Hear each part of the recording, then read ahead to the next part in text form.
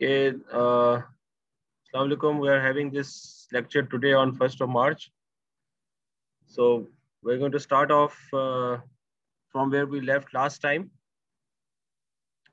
तो थोड़ा सा रिकैप करने के लिए वी सॉ की बहुत तफसील में मशीन लर्निंग की जो डेफिनेशन है कि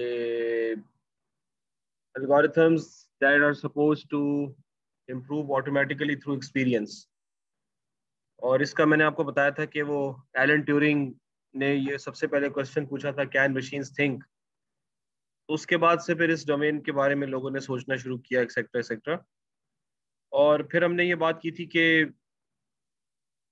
प्राइमरीली इसमें एक मॉडल हम बनाते हैं। Model means a mathematical model और हमें जो डेटा दिया जाता है, उसमें basically we got a training set and a testing set बाज़ बीच में एक वैलिडेशन सेट भी होता है, वो हम बाद में देखेंगे। So we are suppose to model mathematical and in most cases a stochastic relationship between a set of predictors and the label जो कि हमें दिया हुआ which we want to predict अगर लेबल स्ट्रिंग है दैट्स क्लासिफिकेशन अगर label numerical है that's regression and that is in the domain of supervise learning तो we have to learn this relationship तो हम कह सकते हैं L equals to f of p where f is obviously a very uh, difficult and a complicated non-linear function it's not a linear function it could be a linear function if in the case of simple linear regression it could be a very simple linear function for example uh, if i want to predict कि एक uh, बंदा hospital में है तो उसका bill कितना बनेगा ठीक है? तो that is a very strongly correlated to the number of days जो कि वो हॉस्पिटल में रहेगा। तो I can predict the bill based on the number of days तो in that case I just have one predictor but it is not that a simple a case कि हम linearly वो रिलेशनशिप को model कर लें but typically all of these variables have to be considered to map to the label that we want to predict. So basically ये इसकी joint probability distribution होती है।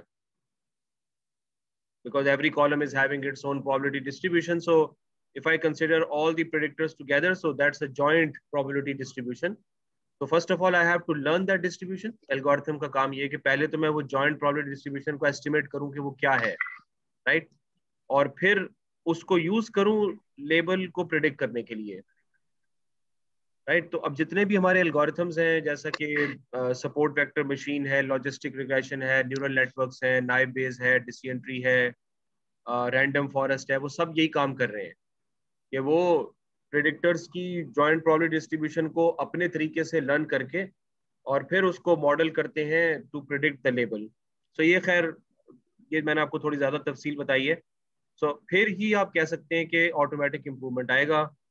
और इसकी एप्लीकेशंस जो है ना वो बहुत सारी हैं ये मैंने आपको अच्छी तरह समझाया था कि we are deriving most knowledge from statistics and optimization क्यों क्यों इसको आप अच्छी तरह याद रखिएगा कि इस वजह से क्योंकि जब मैं ये मैपिंग करता हूँ तो ये तो मैपिंग जो है, ये कोई रूहानी मैपिंग तो है नहीं राइट right? ये मैपिंग तो मैथमेटिकल मैपिंग है तो उसमें एरर्स आएँगे राइट right? तो एरर्स जब आएँगे तो फिर क्या होगा कि हमें उन एरर्स को रिमूव करना है, ताकि ये फ़ंक्शन की परफॉर्मेंस को मजीद बेहतर बना सके। उसको हम कहते हैं ट्यूनिंग ट्यूनिंग कहते हैं। जैसे फॉर एग्जांपल आप अपनी गाड़ी में कोई नया पार्ट लगाते हैं, ठीक है? तो फिर क्या होता है कि भाई वो आप अपने सिस्टम को ट्यून करते हैं कि भाई सब कुछ सही चल रहा है कि नहीं चल रहा टेस्ट ड्राइव करके देखते हैं।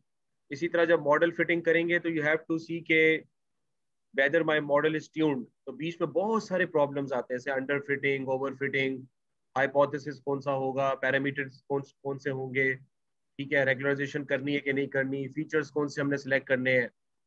तो एक अच्छी खासी लंबी चौड़ी मेथडोलॉजी हमें बनानी पड़ेगी, इससे पहले कि ये मैपिंग हमारी परफेक्ट हो जाए। बहुत सारे काम करने पड़ते हैं मशीन लर्निंग में। तो इसीलिए जब आप पहली दफ़ा मैपिंग करेंगे तो एरर्स आएँगे। I can represent the errors in the form of a function जिसको हम आमतौर पर कॉस्ट फ़ंक्शन कहते हैं। ठीक है? I typically call it the cost function कि भाई मॉडल uh, कितना महँगा पड़ रहा है बेसिकली तो ऑब्वियसली हमारा काम ये होगा कि हम कॉस्ट को मिनिमाइज करें। जितनी कॉस्ट मिनिमाइज होगी उतनी बेहतर एक्यूरेसी आएगी। ठीक है?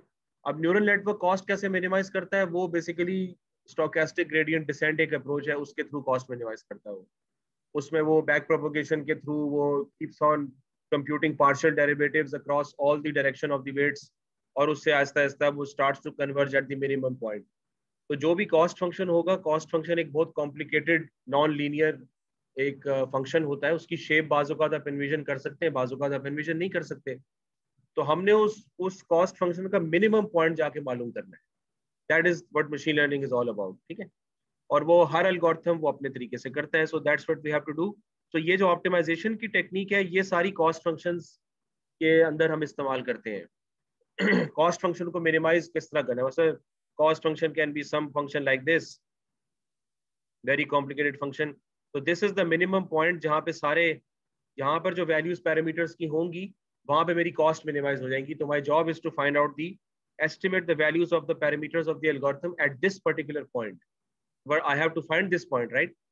तो वो फाइंडिंग के मुख्तलिफ़ तरीके हैं। मसलन एक तरीका जो हम आमतौर पर इस्तेमाल करते हैं, वो है मैक्सिमम लाइकलीहुड एस्टिमेशन जो कि बहुत पुराना तरीका है और बहुत अच्छा तरीका है, अभी भी चलता है वो। It's even available in the tools and APIs जो कि हम इस्तेमाल करते हैं। और उसके अलावा बहुत सारे तरीके आप ऑप्टिमाइजेशन की डिफरेंट टेक्निक्स और भी इस्तेमाल कर सकते हैं। मसलन आप ली स्क्वायर्स मेथड इस्तेमाल कर सकते हैं। आप लीनियर प्रोग्रामिंग यूज़ कर सकते हैं blah blah blah blah blah ठीक है?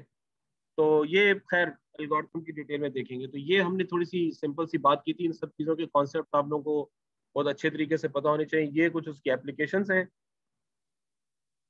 I told you the difference between supervised and unsupervised supervised में लेबल्स अवेलेबल होते हैं। और लेबल्स आमतौर पे बिज़नेस वाले खुद ही करके देते हैं, ठीक है? अनसुपरवाइज में आपके पास कोई लेबल्स नहीं होते और आपका काम ये होता है कि आपने खुद उससे अपना स्ट्रक्चर बनाना है।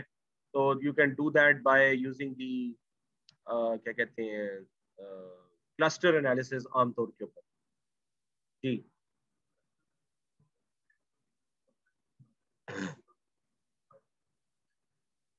नहीं सुपरवाइज देखें दोनों चीज़ों की सेंस बहुत डिफरेंट है ना। Supervise learning is the broader area जिसमें हम प्रिडिक्शंस करते हैं।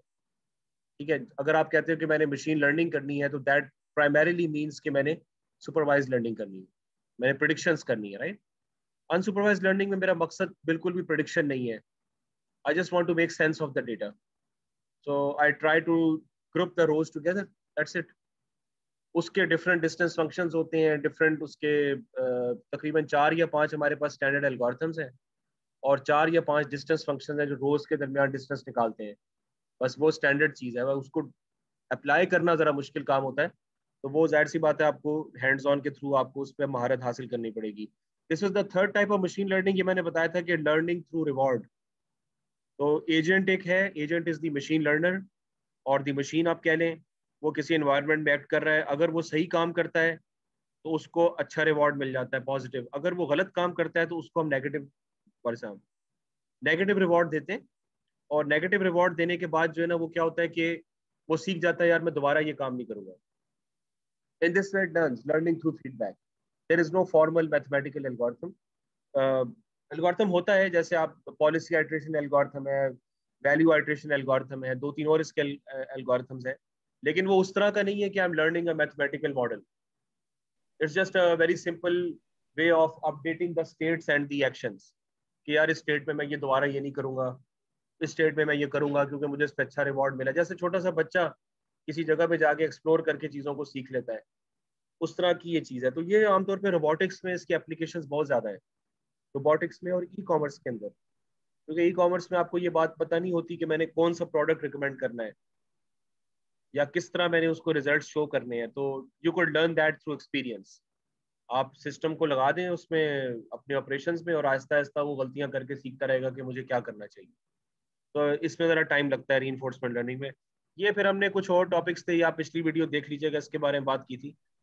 और फिर जो मेन चीज़ जो भी हमने डिस्कस करना है, वो ये है कि आपका जो 1950 में इसका कॉन्सेप्ट मशीन लर्निंग का आया था। और ए एआई और मशीन लर्निंग के बारे में मैंने आपको डिस्टिंक्शन बहुत क्लियर करके बताई थी कि इनिशियली एवरीथिंग वाज एआई जब ट्यूरिंग ने अपना पेपर पब्लिश किया था। आ, लेकिन आहिस्ता आहिस्ता ए वाले जो लोग हैं वो चले गए सिम्बॉलिक अप्रोचेस की तरफ़।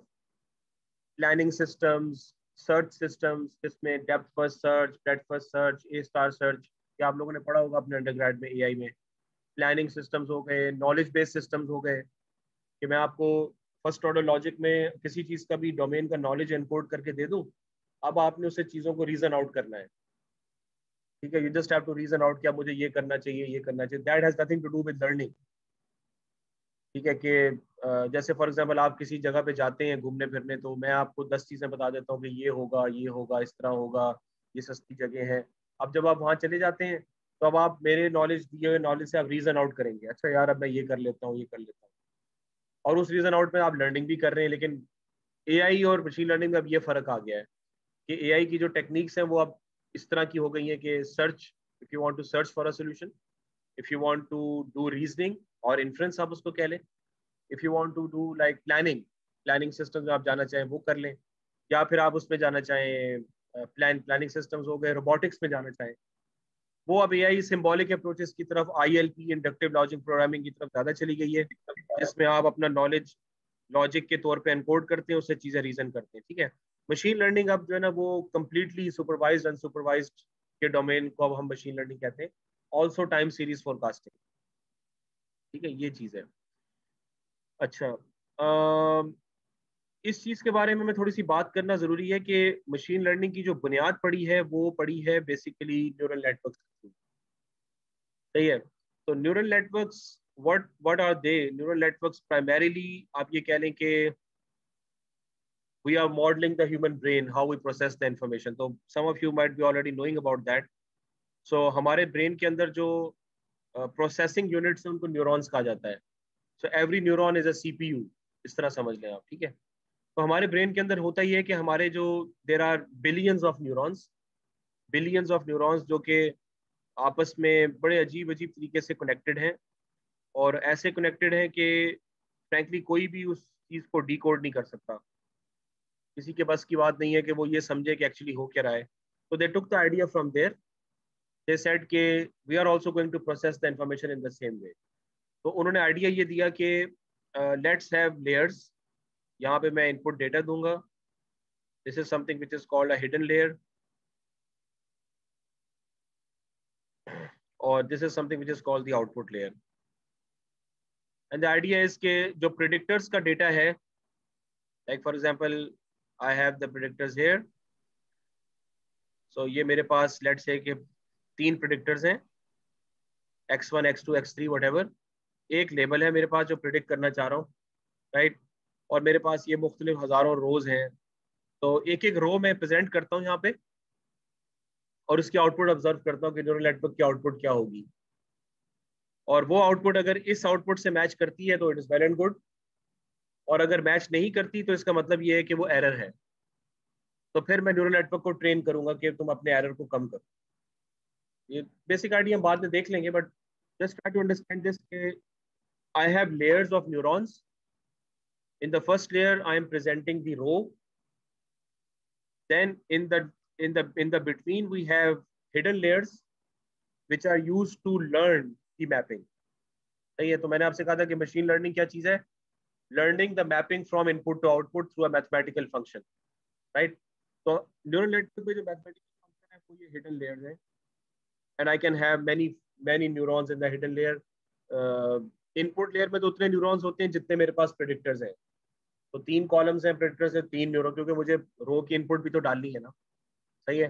हिडन लेयर के अंदर मेरे पास मेरी मर्ज़ी के मुताबिक है। मैं कितने हिडन लेयर्स इस्तेमाल करता हूँ और कितने न्यूरॉन्स डालता हूँ। जो लोग ऑनलाइन है प्लीज़ वो चैट पे मैसेज अपना कर दें। जो भी क्वेरीज हैं, वो चैट पे भेज दें।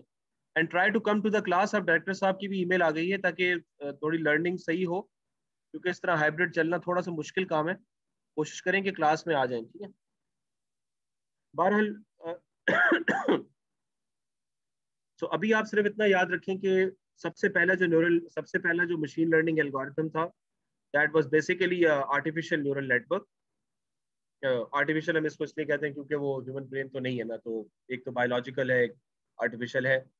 तो उसका नाम था perceptron that was discovered in around 1950s और उस वक्त जो आई थिंक या तो डार्टमथ यूनिवर्सिटी में था या किसी तरह किसी यूनिवर्सिटी में था, अच्छी यूनिवर्सिटी आई लीग या जिसमें भी। तो उसके अंदर जो फ़ंक्शन करता था was a very simple neural network वो पता नहीं उसमें हिडन लेयर भी थी या नहीं थी but basically it was able to learn this mapping of the and gate जब आप उसको ज़ीरो ज़ीरो देंगे तो वो ज़ीरो प्रिडिक्ट करेगा। राइट ज़ीरो वन देंगे तो ज़ीरो वन ज़ीरो देंगे ज़ीरो और वन वन देंगे तो वन सो वो बेसिकली प्रोसेसर्स के अंदर ये चीज़ काम आती है ना, क्योंकि हमारी सारी आर्किटेक्चर की जो प्रोसेसर लॉजिक है, वो गेट्स पे चल रही होती है। ठीक है? तो जो NAND gates combination of NAND gates mix अब the processor logic along with other things obviously तो ये चीज़ वहाँ पे बड़े काम आ सकती थी। लेकिन हुआ ये कि जब उन्होंने ये चीज़ बनाई रोजन ब्लैड था प्रॉब्ली जिसने ये प्रपोज किया था तो बहुत ज़्यादा एक्सपेक्टेशन आना शुरू हो गई लोगों की कि अब ये हो जाएगा, वो हो जाएगा, हमने प्रिडिक्शन करना सीख लिया न्यूरल नेटवर्क बड़ी ज़बरदस्त चीज़ है। हालाँकि उस वक्त computational power even the transistors were not invented उस वक्त बड़े बड़े कंप्यूटर्स होते थे there was no concept of small size motherboard ठीक है? तो ट्रांजिस्टर थी नहीं, जो transistor technology silicon based transistor technology थी नहीं। जी? हाँ उस जमाने में था बेसिकली इलेक्ट्रिकल सिग्नल्स भी था और वो बड़े बड़े इलेक्ट्रिकल सिस्टम्स उन्होंने आपस में जोड़ के कैलकुलेटर बनाया होता था बेसिकली ये है तो ट्रांजिस्टर्स का जिस तरह था ना transistors can store the data जिस तरह से हमारे मदरबोर्ड के ऊपर जो ट्रांजिस्टर्स कसरत कसीर तादाद में इस्तेमाल होते हैं। तो दैट रेवोल्यूशन के सेमीकंडक्टर जिसको हम कहते हैं that revolution came in 1970s तो हुआ ये कि जब उन्होंने परसेप्ट्रॉन से बहुत ज़्यादा उम्मीदें लगाना शुरू कर दी तो फिर परसेप्ट्रॉन के पास लर्निंग मैकेनिज्म इतना स्ट्रांग नहीं था। There was no back propagation जो हम पिछले तीस सालों से इस्तेमाल कर रहे हैं। बैक प्रोपोगेशन आई 1980 के अंदर। सही है? तो 1950 60 70 इसमें जो न्यूरल नेटवर्क की जो रिसर्च है वो तकरीबन ख़त्म हो गई। और इसको हम कहते हैं ए आई विंटर ठीक है? क्योंकि इवन यूनाइटेड स्टेट्स मिलिट्री ने न्यूरल नेटवर्क की रिसर्च में पैसे डालना छोड़ दिए क्योंकि they had no particular mechanism to learn the weights of the neural network जो पहले मेथड्स थे, वो हैब रूल वगैरह थे, वो हम पढ़ेंगे इन ताला तो वो कदरे सिंपल थे तो मोर कॉम्प्लिकेटेड टास्क इससे मैनेज नहीं हो सकते थे। जैसे मैं कहूँ कि कैरेक्टर रिकग्निशन करवानी है, इस तरह वो मैनेज नहीं कर सकता था। तो 1980s में फिर इनकलाब आया, उसके बाद से अभी तक जो है ना, वो न्यूरल नेटवर्क अब पूरी दुनिया पे कब्जा कर चुके हैं in the form of deep learning ठीक है? तो बहरहाल मैं बताना ये चाह रहा था कि न्यूरल नेटवर्क की जो बुनियाद है that is the generalize linear model ठीक है? Generalize linear model is the base from which the neural designed और जनरलाइज लीनियर मॉडल जो है ना, वो प्राइमरीली एक स्टैटिस्टिकल टेक्निक है, एक रिग्रेशन की टेक्निक है। ठीक है? तो मैं अभी आपको उसके बारे में तफसील से बताता हूँ कि वो क्या चीज़ है।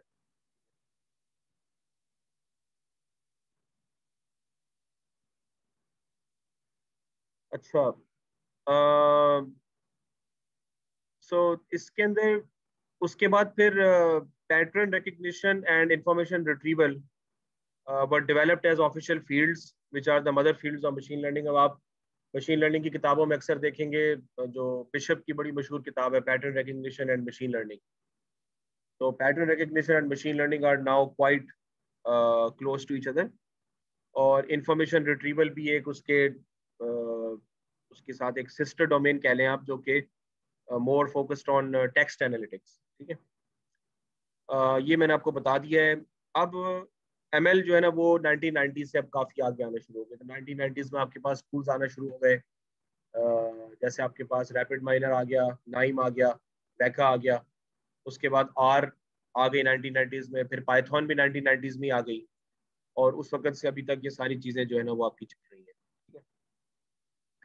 ये कॉन्सेप्ट एक जो है ये शायद मैंने आपको थोड़ा सा बताया भी था। एरर और रेजिजुअल ठीक है तो जब हम एरर की बात करते हैं ना तो एरर हम इस चीज़ को कहते हैं कि आपका जो मॉडल का आउटपुट आ रहा है उसका पॉपुलेशन के मीन के साथ कितना फासला है। ठीक है ये वो चीज़ हम बात करते हैं। बिकॉज़ uh, मैंने आपको जो हमने जो स्टैटिस्टिकल एनालिसिस किए हैं उसमें बेसिकली हमने ये चीज़ देखी है कि want to actually uh, estimate what is happening in the population. We want to make claims about the population. तो अगर पॉपुलेशन के बारे में आप क्लेम्स कर सकते हैं तो then you can say the model has generalised सही है तो मशीन लर्निंग के अंदर एक जो कॉन्सेप्ट हमें जो समझना है वो ये है कि मेरे पास अगर फॉर एग्जांपल ये डेटा है, इसका ज़रा ध्यान रखिएगा। तो this is the label that I want to learn this is the set of predictors और ऑब्वियसली मैंने यहाँ पे एक मैपिंग लर्न करनी है एफ़ तो ये बात मैं लिखना ज़रूरी है कि function F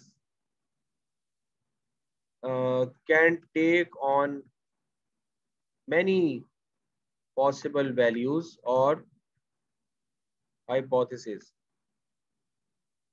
okay and we have to select the best one from amongst them.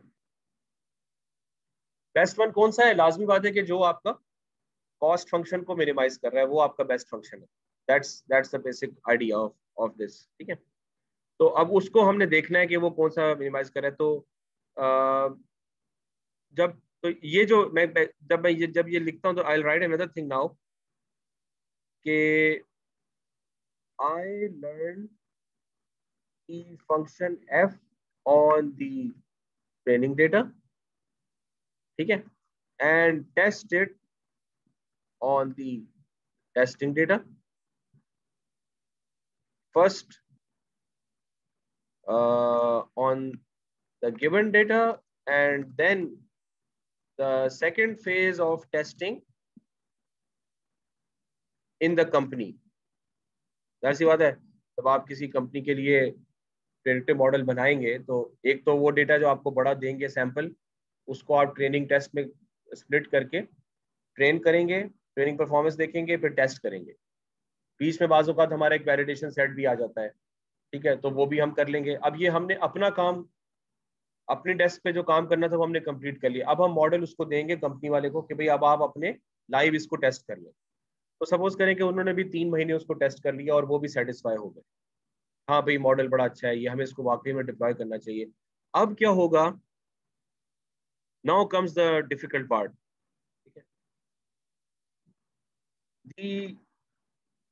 इसका मैं फॉन्ट कलर चेंज कर देता हूँ ताकि purpose of machine learning is that when you deploy the model in operations, then that model should be able to generalize to the real data all the time. Learning का तो मतलब ही यही है कि आप नई सिचुएशन में परफॉर्मेंस कर सकें अनसीन डेटा के ऊपर राइट अब ये तो ये बात तो देखें, अकल की बात है कि हर आदमी कहेगा कि भाई, जिस डेटा पे आपने ट्रेनिंग और टेस्टिंग किए हैं, मैं ये गारंटी नहीं कर सकता कि डिप्लॉयमेंट के बाद भी उसी तरह का डेटा आएगा। थोड़ी बहुत ऊंच नीच होगी ज़ाहिर सी बात है। यानी जो जॉइंट प्रॉबिलिटी डिस्ट्रीब्यूशन है प्रोडिक्टर्स की, वो थोड़ी बहुत हिले, हिलती रहेगी। जैसा कि समंदर के अंदर एक बोट जा रही होती है तो चल तो रही होती है, लेकिन वो हिल भी रही होती है।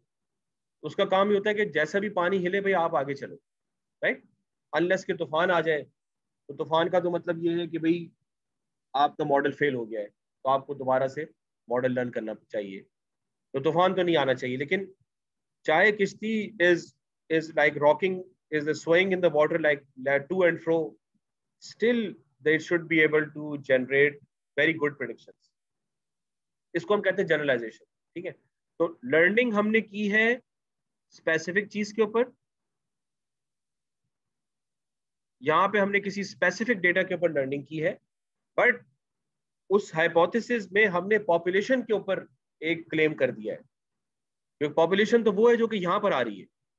पॉपुलेशन तो अब बन रही है ना पॉपुलेशन तो पहले थी नहीं। पहले तो हमने एक छोटा सा एक पीस उठा लिया था बस।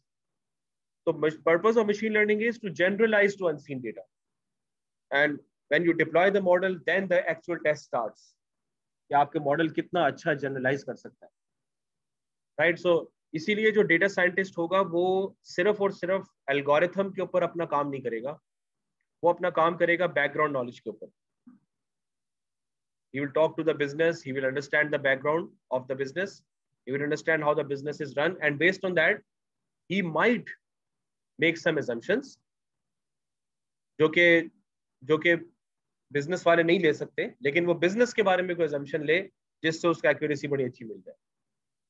So it's it's a mixture of many skill sets जो कि आप लोगों को इनशाला एक्वायर करना है। ठीक है समझ आ गई तो we have to generalise that's the main thing अब इसमें जो जो कॉन्सेप्ट है वो ये है कि इसको आप इस तरह लिख लें कि I generalize uh, I am feeling more confident about the population or more confident in making claims about the population ठीक है इज़ दिस क्लियर तो ये चीज़ ये चीज़ है अब इसके अंदर जो जो कॉन्सेप्ट है ना वो ये है कि when you talk of errors तो ये मैं लिख देता हूँ कि this means the deviation of the model from the population parameters in most cases. ठीक है? अच्छा पॉपुलेशन के पैरामीटर्स तो हमें पता नहीं होते हैं। वो तो एक मैथमेटिकल एक अप्रोच है जो कि हमने की होती है, ठीक है? अच्छा और दूसरे केस में when you talk of residuals, you talk of the deviation of the model from the given data or the sample. तो रेजिडुअल है, अब आप कहेंगे पॉपुलेशन को बीच में ला क्यों रहे हो? जब आप उसको यूज़ ही नहीं आप एस्टिमेट ही नहीं कर सकते पॉपुलेशन मीन को। पॉपुलेशन आपके पास है ही नहीं। तो बात ये होती है कि कुछ फॉर्मूलाज के अंदर हम पॉपुलेशन मीन को ला कर अपना काम करवा सकते हैं। पॉपुलेशन मीन उस, उन फॉर्मूला से बाहर निकल जाएगा in the in the long run ठीक है? लेकिन इस लेवल के ऊपर सिर्फ़ ये जानना ज़रूरी है कि हम जो हाइपोथेसिस की बात कर रहे हैं ना, कि एफ़ हम लर्न कर रहे हैं तो वो हम पॉपुलेशन की बुनियाद पे ही सारी बातें कर रहे हैं। हमने ये नहीं कहा कि हम सैंपल की दुनिया में गुम हैं और सैंपल के हिसाब से बातचीत कर रहे हैं। हमारी जनरलाइजेशन पॉपुलेशन के हिसाब से ही है, अलबत्ता हमें उसको मीन को इतना ज़्यादा एस्टिमेट करने की उसमें ज़रूरत नहीं है, ठीक है? तो जो कॉन्सेप्ट है इसका, ये चीज़ क्लियर हो गई सबको? सही है ना? अच्छा अब हम आते हैं कि जो मेन चीज़ है वो ये है कि जनरलाइज लीनियर मॉडल्स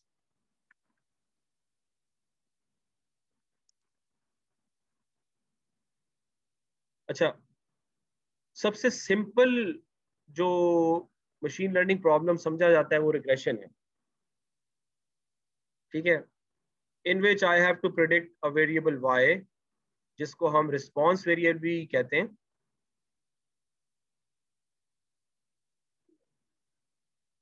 रेजिडुअल ये होता है कि मेरे मॉडल की जो है वो सैंपल के पैरामीटर से कितनी डेविएशन है। सैंपल के मीन से कितनी डेविएशन है फॉर एग्ज़ाम्पल ठीक है, जो मैंने मॉडल लर्न किया है, वो सैंपल से कितना और वो तो मैं बड़े आराम से एस्टिमेट कर सकता हूँ। सैंपल मीन तो मेरे कंट्रोल में है सैंपल तो मेरे सामने है। ठीक है तो हम काम सारा सैंपल की लेवल पे करते हैं। लेकिन वो जो मैथ्स मैथ्स हमारी ड्राइव हुई है, वो इस तरह से ड्राइव हुई है कि we are generalising to the population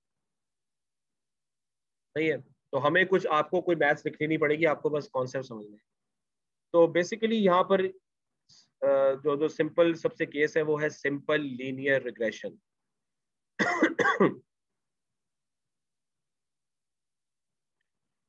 तो सिंपल लीनियर रिग्रेशन जो है वो बेसिकली रिग्रेशन का मतलब आप ये समझ लें लाइन फिटिंग है तो आप में से बहुत सारे लोगों को ऑलरेडी पता होगा, लेकिन जो इसको आप इस तरह समझ लें कि fit the best line that is best line कौन सी है? विच मिनिमाइजेस द एरर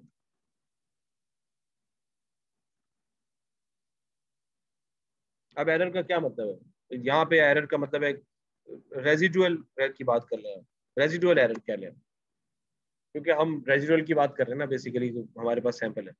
तो सिंपल इनोग्रेशन के केस में आप ये देख लें कि जैसे फॉर एग्जांपल मैं कहता हूँ कि लेट सपोज़ कि ये है मेरे पास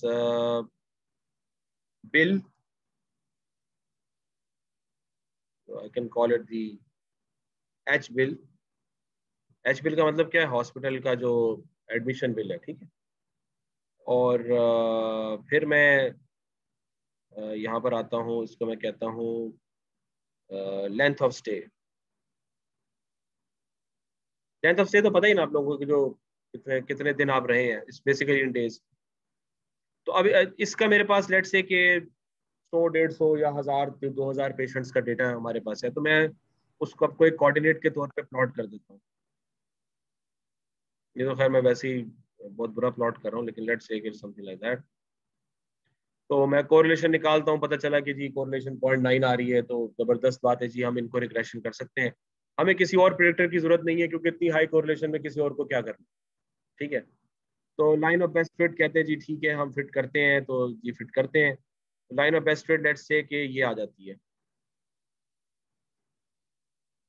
और ज़ाहिर सी बात है कि every point has a deviation from this line there will be some points on the line probably ठीक है? लेकिन ये वो लाइन है जो सबसे ज़्यादा एरर को मिनिमाइज करने वाली है। तो इसको आप इस तरह समझ लें कि ये लाइन यू यू मूव कर रही है। अगर हम we are trying to find the best line तो the algorithm is trying out different parameters by moving the line move कर रही है और इवेंचुअली वो इस जगह पे आके टक कर जाता है कि यहाँ पे एरर मेरा सबसे कम आ रहा है। सही है? तो एरर कैसे निकालते हैं कि इस पॉइंट की डेविएशन प्लस इसकी डेविएशन दिस डेविएशन तो X I sorry not X I oh my god no eraser so Y I अभी बेसिक टर्म में लिख रहा हूँ minus F of X I and you can square that right तो हर point की deviation अपने प्रिडिक्टेड वैल्यू के साथ, उसका सब स्क्वायर और ये सब सारी डेविएशंस को आप सम कर दें where N is the number of points I equals to one to N F of X is the equation of the straight line मतलब मैं कह रहा हूँ कि सबसे सिंपल मॉडल जो मशीन लर्निंग का हो सकता है, वो ये एक स्ट्रेट लाइन की इक्वेशन है, जो कि कभी होता नहीं है, क्योंकि टिपिकली आपके पास एक एक्स से काम नहीं चलता, आपके पास बहुत सारे एक्स होते हैं। प्रेडिक्टर्स काफ़ी सारे होते हैं जिसकी बेस पे आपने प्रेडिक्ट करना होता है। This is the total error ये कॉस्ट फ़ंक्शन है। इसको जे कह सकते हैं आप। जे ऑफ़ एक्स कह लें या जो भी कह लें। ठीक है? आप इसकी बस इंट्यूशन समझ जाएँ लॉजिक समझ जाएँ इसकी। वो बहुत ही बेसिक सी चीज़ है, ठीक है? तो I sum up the of each point square it क्योंकि ताकि नेगेटिव में हो तो उसको हम एब्सोल्यूट वैल्यू कर लें। और सबको फिर हम वो कर दें तो that is the sum of square deviations और इसके मुख्तलिफ़ फॉर्मेट्स भी हैं मतलब this is one way to calculate it लेकिन बेसिकली ये मेन चीज़ क्या है? Y minus F F X है स्क्वायर इसको आप मुख्तलि तरीके से कर सकते हैं। कुछ लोग इसके बाद में स्क्वायर रूट भी ले लेंगे फॉर एग्जांपल तो वो आपका एरर आ जाएगा। अच्छा अब यू नीड टू अंडरस्टैंड के how this line is made तो every mathematical model has parameters. So the set of all parameters is defined by theta. तो स्ट्रेट लाइन के कौन से पैरामीटर्स हैं? हाँ y equals to X plus C simple होगी बात तो बिल्कुल आसान सी बात है। y मेरा h बिल है, x मेरा एल है। M मेरा ग्रेडियंट है और c जो है वो y इंटरसेप्ट है। राइट अब मैं how will I find the ideal values of M and C तो मैं थीटा को रिप्रेजेंट करता हूँ। थीटा मेरा क्या है? एम कॉमा सी थीटा एक सेट है बेसिकली सेट ऑफ़ पैरामीटर अगर न्यूरल नेटवर्क्स पे जाएँगे तो आपके पास कई सौ वेट्स होते हैं। तो सारे वेट्स मिला के बायसेस मिला के थीटा बनेगा। और हर एल्गोरिथम के अपने पैरामीटर्स होते हैं जिनकी आइडियल वैल्यूज़ आपने ढूंढनी होती हैं। कुछ आपको एल्गोरिथम ढूंढ के देगा, बाजू का तो आपको खुद भी अलग तरीके से आइडियल वैल्यूज़ को ढूंढना पड़ता है। तो I have to estimate theta in every machine learning problem ठीक है? तो थीटा को एस्टिमेट करने के लिए one of the base we can do that is to represent the cost function mathematically and then apply some optimisation technique जैसे मैंने बताया to estimate the value of theta ठीक है? तो ऑप्टिमाइजेशन के अंदर one of the ways we can do that is maximum likelihood estimation और उसके अलावा जैसे मैंने बताया कि ली स्क्वायर्स मेथड भी हैं, उसके अलावा आपके पास अल्टरनेटिव ली स्क्वायर मेथड्स हैं। आपके पास जो, क्या कहते हैं कंबाइनेटोरियल ऑप्टिमाइजेशन मेथड्स हैं टू फाइंड आउट दैट आपका बहुत ज़्यादा उस पर कंसर्न नहीं है। आपको सिर्फ़ कॉन्सेप्ट याद रखना है कि मशीन लर्निंग में हो क्या रहा है कि मेरे पास एक कॉस्ट फ़ंक्शन हमेशा आएगा। कॉस्ट फ़ंक्शन की एक मैथमेटिकल रिप्रेजेंटेशन होगी। कॉस्ट फ़ंक्शन को मैं इस्तेमाल करूँगा to find out the best values of theta यानी जो कॉस्ट फ़ंक्शन की मिनिमम वैल्यू पे मुझे मिल जाए। तो आइडिया ये है कि I can represent this F of X I in the in the form of this equation because F of X I equals to M X plus C तो मैं एम एक्स प्लस सी को यहाँ पे plug in कर सकता हूँ। तो I will get cost function as a measure of theta So I can write j theta equals to y minus mx minus c whole squared. सही है? ये बात तो क्लियर हो रही है ना? ये तो इतना मुश्किल काम नहीं है। क्या I can just F of X I है दिस इज़ एक्चुअली दिस तो मैं ये दो चीज़ें यहाँ तो वही है बेसिकली ठीक है? तो दैट्स द बेसिक गेम है और जो इसके अंदर जब तो जब मेरे पास वो चीज़ आ जाएगी तो जे को मैं थीटा की फॉर्म में रिप्रेजेंट कर सकता हूँ। ठीक है? तो अब आप ये देखें कि अगर मैं आपको यहाँ पर एक और इसको मैं नीचे नहीं कर सकता। Let me just erase this one so I can represent J as a function of theta and also X X की पगार तो नहीं होगा। एक्स तो इनपुट है। ठीक है। सो जे कहाँ गया है? Comma X now this is a function जैसे y to M X plus C की शेप है। अब इस फ़ंक्शन की भी एक शेप होगी। इस फ़ंक्शन की एक शेप होगी। आमतौर पे वो शेप नॉन लीनियर होती है तो लेट्स अज्यूम के मैं सिंपल एक अज्यूम करता हूँ कि the function goes like this right if I अगर मैं थीटा की एक वैल्यू देता हूँ, यानी एम और सी की, और एक्स की I get one point on this curve सही है? तो मेरा काम क्या है कि मैंने थीटा को क्या करना है? थीटा को क्या करना है मुझे? सॉरी जे को क्या करना है? मिनिमाइज करना है, यानी मुझे इस पॉइंट के ऊपर थीटा की वैल्यू चाहिए। इस पॉइंट पे एम और सी क्या है? क्योंकि अगर वो एम और सी में प्लग इन करूँगा जे की इक्वेशन में तो फिर मुझे जे की सबसे कम वैल्यू मिलेगी, जिसका जिसका मतलब ये होगा कि एरर मेरा सबसे कम हो गया। सही है ना ये तो एक बेसिक सा कॉन्सेप्ट है, इसमें तो कोई इतना बड़ा मुश्किल काम नहीं सीखने में। घबराने वाली बात नहीं है।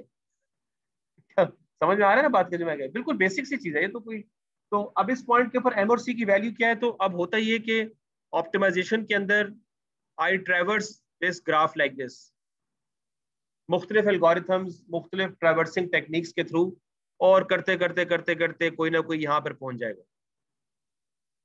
और इसकी स्टैटिस्टिकल गारंटीज होती है कि हाँ भाई हम पहुँच जाएँगे। तो आइट्रेटिव ली स्क्वायर्स हो वेटेड ली स्क्वायर्स हो कंबाइनेटरी ऑप्टिमाइजेशन हो एमएलई हो, वो आपको इस बात की गारंटी करते हैं कि हम आपको मिनिमम ढूंढ के दे देंगे provided we have enough time और ब्ला ब्ला ब्ला जी।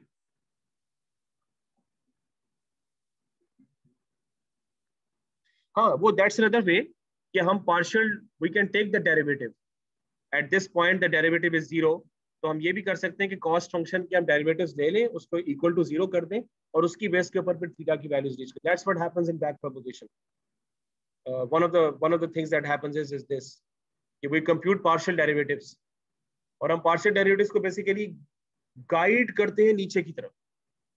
न्यूरल नेटवर्क में जो काम होता है ना, वो दैट्स व्हाट इट टेक्स हर पॉइंट पे वो पार्शियल डेरिवेटिव लेता है, हर पैरामीटर कि। J with respect to every parameter it takes the partial derivative लेकिन वो उसको फोर्स करता है कि तुम नीचे की तरफ़ जाओ। कि अगला पॉइंट जो मैं एक्सप्लोर करूँगा वो नीचे की तरफ़, क्योंकि हमने मिनिमम पॉइंट मालूम करना है। समझ आ रही बात की? तो it forces it search to go in the downward direction that is all back progression is about तो पार्शियल डेरिवेटिव कंप्यूट करते करते करते करते करते आप इवेंचुअली मिनिमम पॉइंट पे आ जाते सही है तो वो फिर हम उसके बहुत ज़्यादा डिटेल में हम नहीं देखेंगे, हमें एल्गोरिथम्स कवर करने हैं। लेकिन यहाँ पर आएगा जैसे D J over D M partial derivative of cost with respect to the gradient, and the other one is dj over shabash d dc सही है?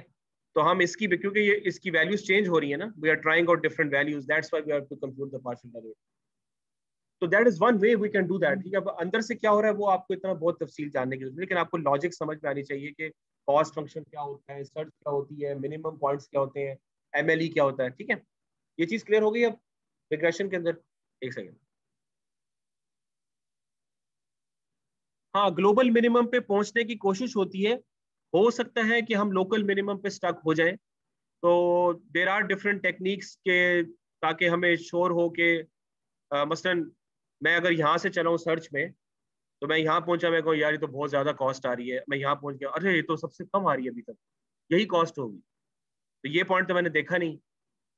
सही है? तो मैं कहूँगा यार ये लोकल मैं इसको आंसर एज आंसर तो ये गलती है तो यार इसको इंश्योर किया जाता है कि ये गड़बड़ ना हो। For example I can start the search from different location तो मैं एक, एक सर्च यहाँ से स्टार्ट की। अगर मैंने यहाँ से स्टार्ट करूँगा तो फिर मैं यहाँ पहुंचूँगा तो ओवरऑल में देखूँगा अच्छा ओवरऑल तो ये सबसे कम आ रहा है। तो ये इसका चांस कम है कि आप लोकल मिनिमा पे स्टक हो जाएँ और ग्लोबल को मिस कर दें। अब ये मशीन लर्निंग इतनी आगे निकल चुकी है कि अब हम इस तरह का काम होता नहीं है। अगर कर भी लेंगे तो एल्गोरिथम्स ऐसे आ गए हैं कि वो ही आपको शायद करने नहीं देंगे। तो एक ज़बरदस्ती आप किसी को आप अगर सिखा रहे हो तो वो उसको तो सीखना पड़ेगा ना। ठीक है, ये चीज़ अब मशीन लर्निंग में आ गई, जी।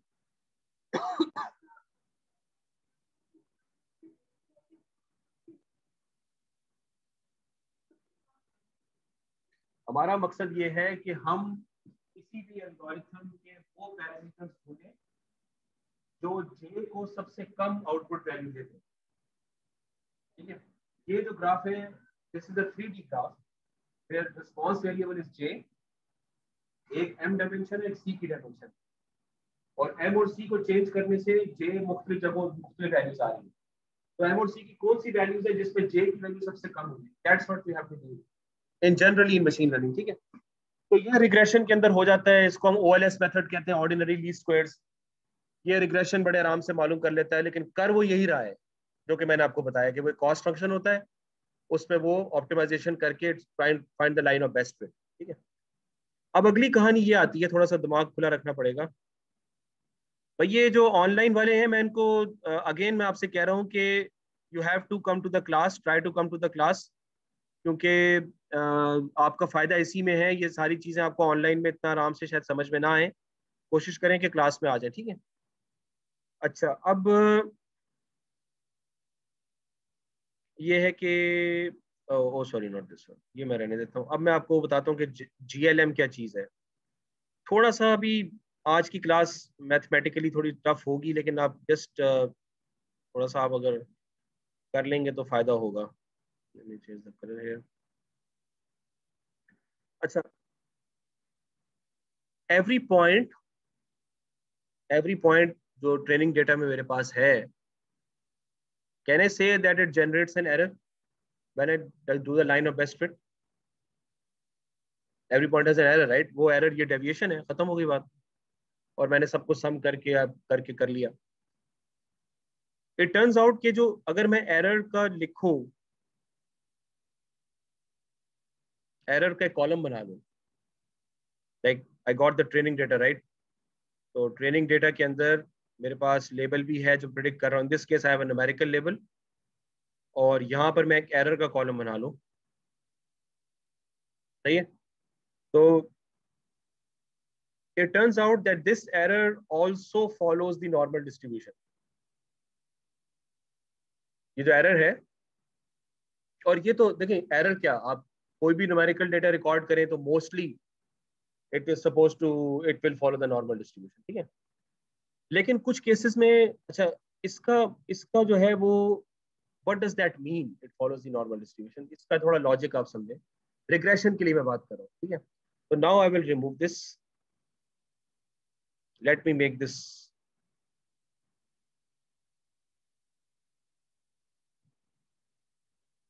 यहाँ पर क्या था मेरे पास? एलओएस और यहाँ पर क्या था भाई? एच बिल हाँ एच बिल ये हमारे हॉस्पिटल्स में एक बहुत बड़ा प्रॉब्लम है ये। अभी हमने आ खान के लिए भी काम किया है तो कल हमारी मीटिंग थी तो उन्होंने बड़ा अच्छा फीडबैक दिया ये अभी हमारा काम चल रहा है उनके साथ। It's a very good project problem ये है कि जब एक पेशेंट एडमिट होता है हॉस्पिटल में तो हॉस्पिटल वाले उसका एक एस्टिमेटेड बिल पहले दिन से ही निकाल देते हैं कि आपका तकरीबन इतना खर्चा आएगा। लेकिन फिर वो एक्चुअल बिल उनके एस्टिमेशन से डेविएट कर जाता है। उससे पेशेंट भी परेशान होता है और खान वाले परेशान होते हैं। तो they want to have an algorithm जो कि पहले से डेविएशन को सही तरह से प्रिडिक्ट करके दे, ताकि बाद में उनको वो ना हो। क्योंकि वो जो फॉर्मूलाज यूज़ कर रहे हैं, वो बिल्कुल बेसिक मैथमेटिकल फॉर्मूलाज हैं और एक्सपीरियंस इस्तेमाल कर रहे हैं। तो ऑब्वियसली वो it's not working out that good ठीक है?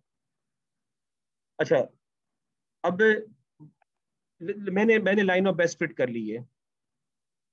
और लेट्स से कि मेरे पास ये चार पॉइंट्स थे, और इन चार पॉइंट्स में लाइन ऑफ़ बेस्ट फिट ये है। लेट्स अज्यूम पाँच कर लें, चले समथिंग लाइक दैट या छह कर लें यस ये मेरी लाइन ऑफ़ बेस्ट फिट आ गई। ठीक है, दोनों तरफ़ बराबर हो गया।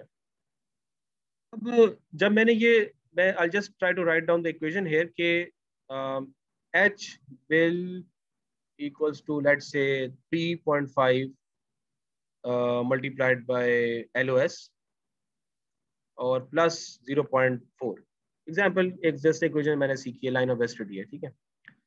अच्छा इसमें मेरी और मेरे एरर्स नॉर्मल डिस्ट्रीब्यूट है what is the assumption assumption मैंने आपको बताया था कि यहाँ तो मैंने बड़े आराम से चीज़ें लिख दी हैं, लेकिन मैंने आपको ये बात बताई थी कि there are many possible hypotheses, which map, H bill, sorry about that बहुत सारी इक्वेशन लाइन की लेकिन मैंने क्या किया कि मैंने एक बहुत बड़े समंदर के अंदर थोड़ा सा पानी उठा के कहा कि भाई यही है। और मैं कह रहा हूँ जनरलाइज भी करेगा। मैं चाहता भी यही हूँ। अब मुझे खौफ किस बात का है? जनरलाइज करने का मतलब क्या? चले, पहले मैं ये लिख देता हूँ। हाँ हाँ। What does it mean to generalize logically तो हमें समझ में आ गया है ठीक है लेकिन इसको हम थोड़ा सा डिफरेंट तरीके से सोचते हैं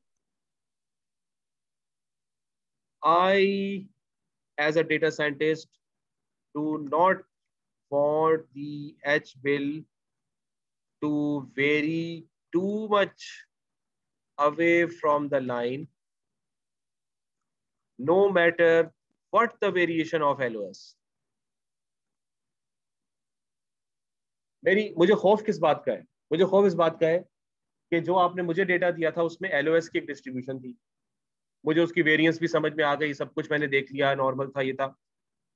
लेकिन जब मैंने डिप्लॉय किया तो अब मेरी चाहत क्या है?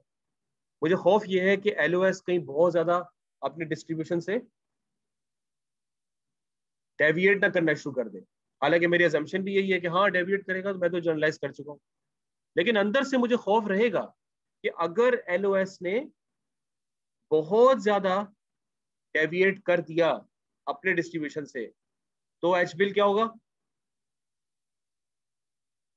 एच बिल को क्या होगा?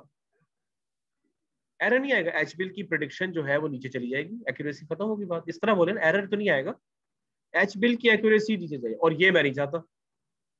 तो मेरी ख्वाहिश क्या है? मैं ये चाह रहा हूँ कि एलओएस को कुछ भी होता रहे लेकिन ऊपर से मैंने एक रस्सी बाँध दी है, आप समझ जैसे आप घोड़े को रस्सी बाँध देते हैं, कि भाई आप जितना भी हिलोगे मैं तो पकड़ के रखू अब अगर घोड़ा बेदकना शुरू कर दे और आपने उसको मजबूती पकड़ा हुआ है तो मुमकिन है कि आप उसको कंट्रोल कर लो। अगर मज़बूत नहीं पकड़ा हुआ तो गिर जाएँगे। ये वो वाली एग्ज़ाम्पल है, ठीक है? तो एजम्पन हर डेटा साइंटिस्ट की यही होती है कि मैंने लाइन तो फिट करके दे दी और मैं बड़ा फखर भी कर रहा हूँ कि जी फीचर मॉडलिंग की है, ये किया है लाइन ऑफ़ बेस्ट फिट है। टेस्ट भी बड़ा अच्छा आ रहा है।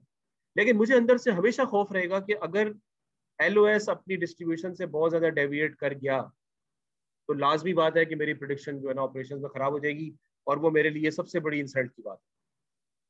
क्योंकि वो फिर वापस मेरे पास आएँगे कि भाई ये क्या है? लिहाजा जब भी आप एक्यूरेसी देते हैं, आप उसको हमेशा बाउंड्स में देते हैं कि इस बाउंड के अंदर हम एक्यूरेसी मेंटेन कर सकेंगे। राइट अब इस प्रॉब्लम को हम कैसे सॉल्व करें? समझ में सवाल का मतलब समझ आ गया ना क्वेश्चन जो सिनेरियो है सिनेरियो बहुत ज़्यादा कॉम्प्लिकेटेड और ये होता भी है। खास तौर पे जहाँ पेशेंट्स हो, जहाँ कस्टमर्स हो, जहाँ लोग हों, वहाँ पे आप कैसे एक्सपेक्ट कर सकते हैं कि आपके ट्रेनिंग डेटा की डिस्ट्रीब्यूशन एक साल के बाद भी वही आ रही होगी? हो ही नहीं सकता। हर महीने, हर दो महीने के बाद आपको डिस्ट्रीब्यूशन चेक करना चाहिए। तो जॉइंट प्रॉबिलिटी डिस्ट्रीब्यूशन जो है, वो लाजमी आपकी वेरी करती रहेगी। जैसे मैंने आपको किश्ती की मिसाल दी। राइट तो दैट इज़ द खौफ जो कि मेरे दिल के अंदर है। अब मैं ये इस प्रॉब्लम को किस तरह सॉल्व करता हूँ? प्रॉब्लम ये आती है कि अगर तो ये जो मैंने रस्सी लगाई है ऊपर, ये मैंने गलत लगाई है। ये जो मैंने रस्सी लगाई है, ये रस्सी की एजम्पन ये है कि मेरे एरर्स नॉर्मली डिस्ट्रीब्यूटेड अगर रहे तो रस्सी बंदी रहेगी। अब अब आप समझे बात को मैं किस तरफ़ जा रहा हूँ। अगर मेरे एरर्स की डिस्ट्रीब्यूशन नॉर्मल रही उस तरफ़ तो इसका मतलब ये कि रस्सी बंदी रहेगी और मैं अपना दबा के रखूँगा घोड़े को राइट लेकिन अगर मेरे एरर्स की डिस्ट्रीब्यूशन नॉन नॉर्मल हो गई फॉर सम रीजन सही है तो फिर वो रस्सी मेरे हाथ से निकल जाएगी। सही है? तो जो जीएलएम जो है ना जीएलएम जो जीएलएम है जीएलएम अब इस प्रॉब्लम के ऊपर रस्सी डाल देता है। कि ठीक है जी, आपकी एरर की डिस्ट्रीब्यूशन नॉन नॉर्मल हो गई है। इस मसले को भी हम खींच के नॉर्मल डोमेन में दोबारा से लाने की कोशिश करते हैं। तो यार बात? तो जीएलएम जो है ना जनरलाइज लीनियर मॉडल जो कि आर्टिफिशियल न्यूरल नेटवर्क की बुनियाद है जीएलएम जो है, वो प्राइमरीली क्या है? वो बेसिकली एक रिग्रेशन की जनरलाइजेशन है। इसलिए हम इसको कहते हैं जनरलाइज्ड लीनियर मॉडल और ये किस चीज़ को जनरलाइज कर रहे हैं? ये इस चीज़ को जनरलाइज कर रहे हैं कि अगर आपकी एरर की डिस्ट्रीब्यूशन नॉन नॉर्मल हुई, अब हम आपको सोल्यूशन बताते हैं कि आपने उसको अब रस्सी किस तरह बाँध दी। सही है? कॉन्सेप्ट समझ आ गया? कॉन्सेप्ट को समझे बस। कॉन्सेप्ट अगर समझ में आ गया तो मैथ्स का कोई मसला नहीं ठीक है? इज़ दिस थिंग क्लियर तो ये है। तो मैं इसको लिख भी देता हूँ ताकि आप लोगों को वजात हो जाए।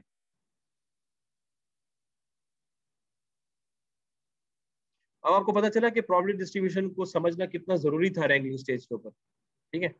If the probability distribution of the errors और द रेजिडुअल्स आप कह लें अभी मैं दोनों को इंटरचेंजेबली इस्तेमाल कर कर रहा हूँ क्योंकि I am assuming things about the population तो कर सकते हैं लेकिन रेजिडुअल ठीक है आप जो करना चाहें।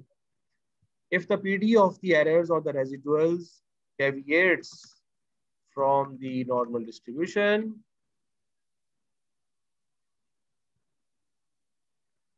then GLM provides the solution. बस ये इतना याद रखो। क्योंकि कॉन्फिडेंस मुझे सिर्फ़ उसी वक्त मिलेगा जब मैंने वो रस्सी बांधी है।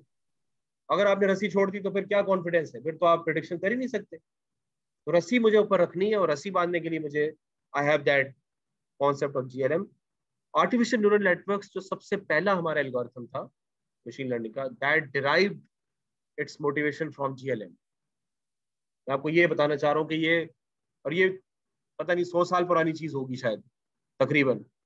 ये जी एल एम्स और L M logistic linear regression वगैरह ये बहुत पुराने मॉडल्स हैं। और हम तो अभी सीख रहे हैं ना कि क्या होता है। ठीक है। अब इसके अंदर होता क्या है? सही है समझ में आ गई बात की? ठीक है। अब आप थोड़ा सा मैथ से परेशान ना होइएगा। मैं इसको कुछ चीज़ें लिख के रहने देता हूँ और ये मैं हटा रहा हूँ। ये ये बस आपके सामने मैं लिखे रहने दिए। ठीक है? अच्छा ड्रॉ, ठीक। अच्छा अब ये करता कैसे? What does it do to achieve that right तो अब दो चीज़ें हमें जहन में रखनी है। पहली चीज़ जो जहन में हमें रखनी है वो ये है कि yes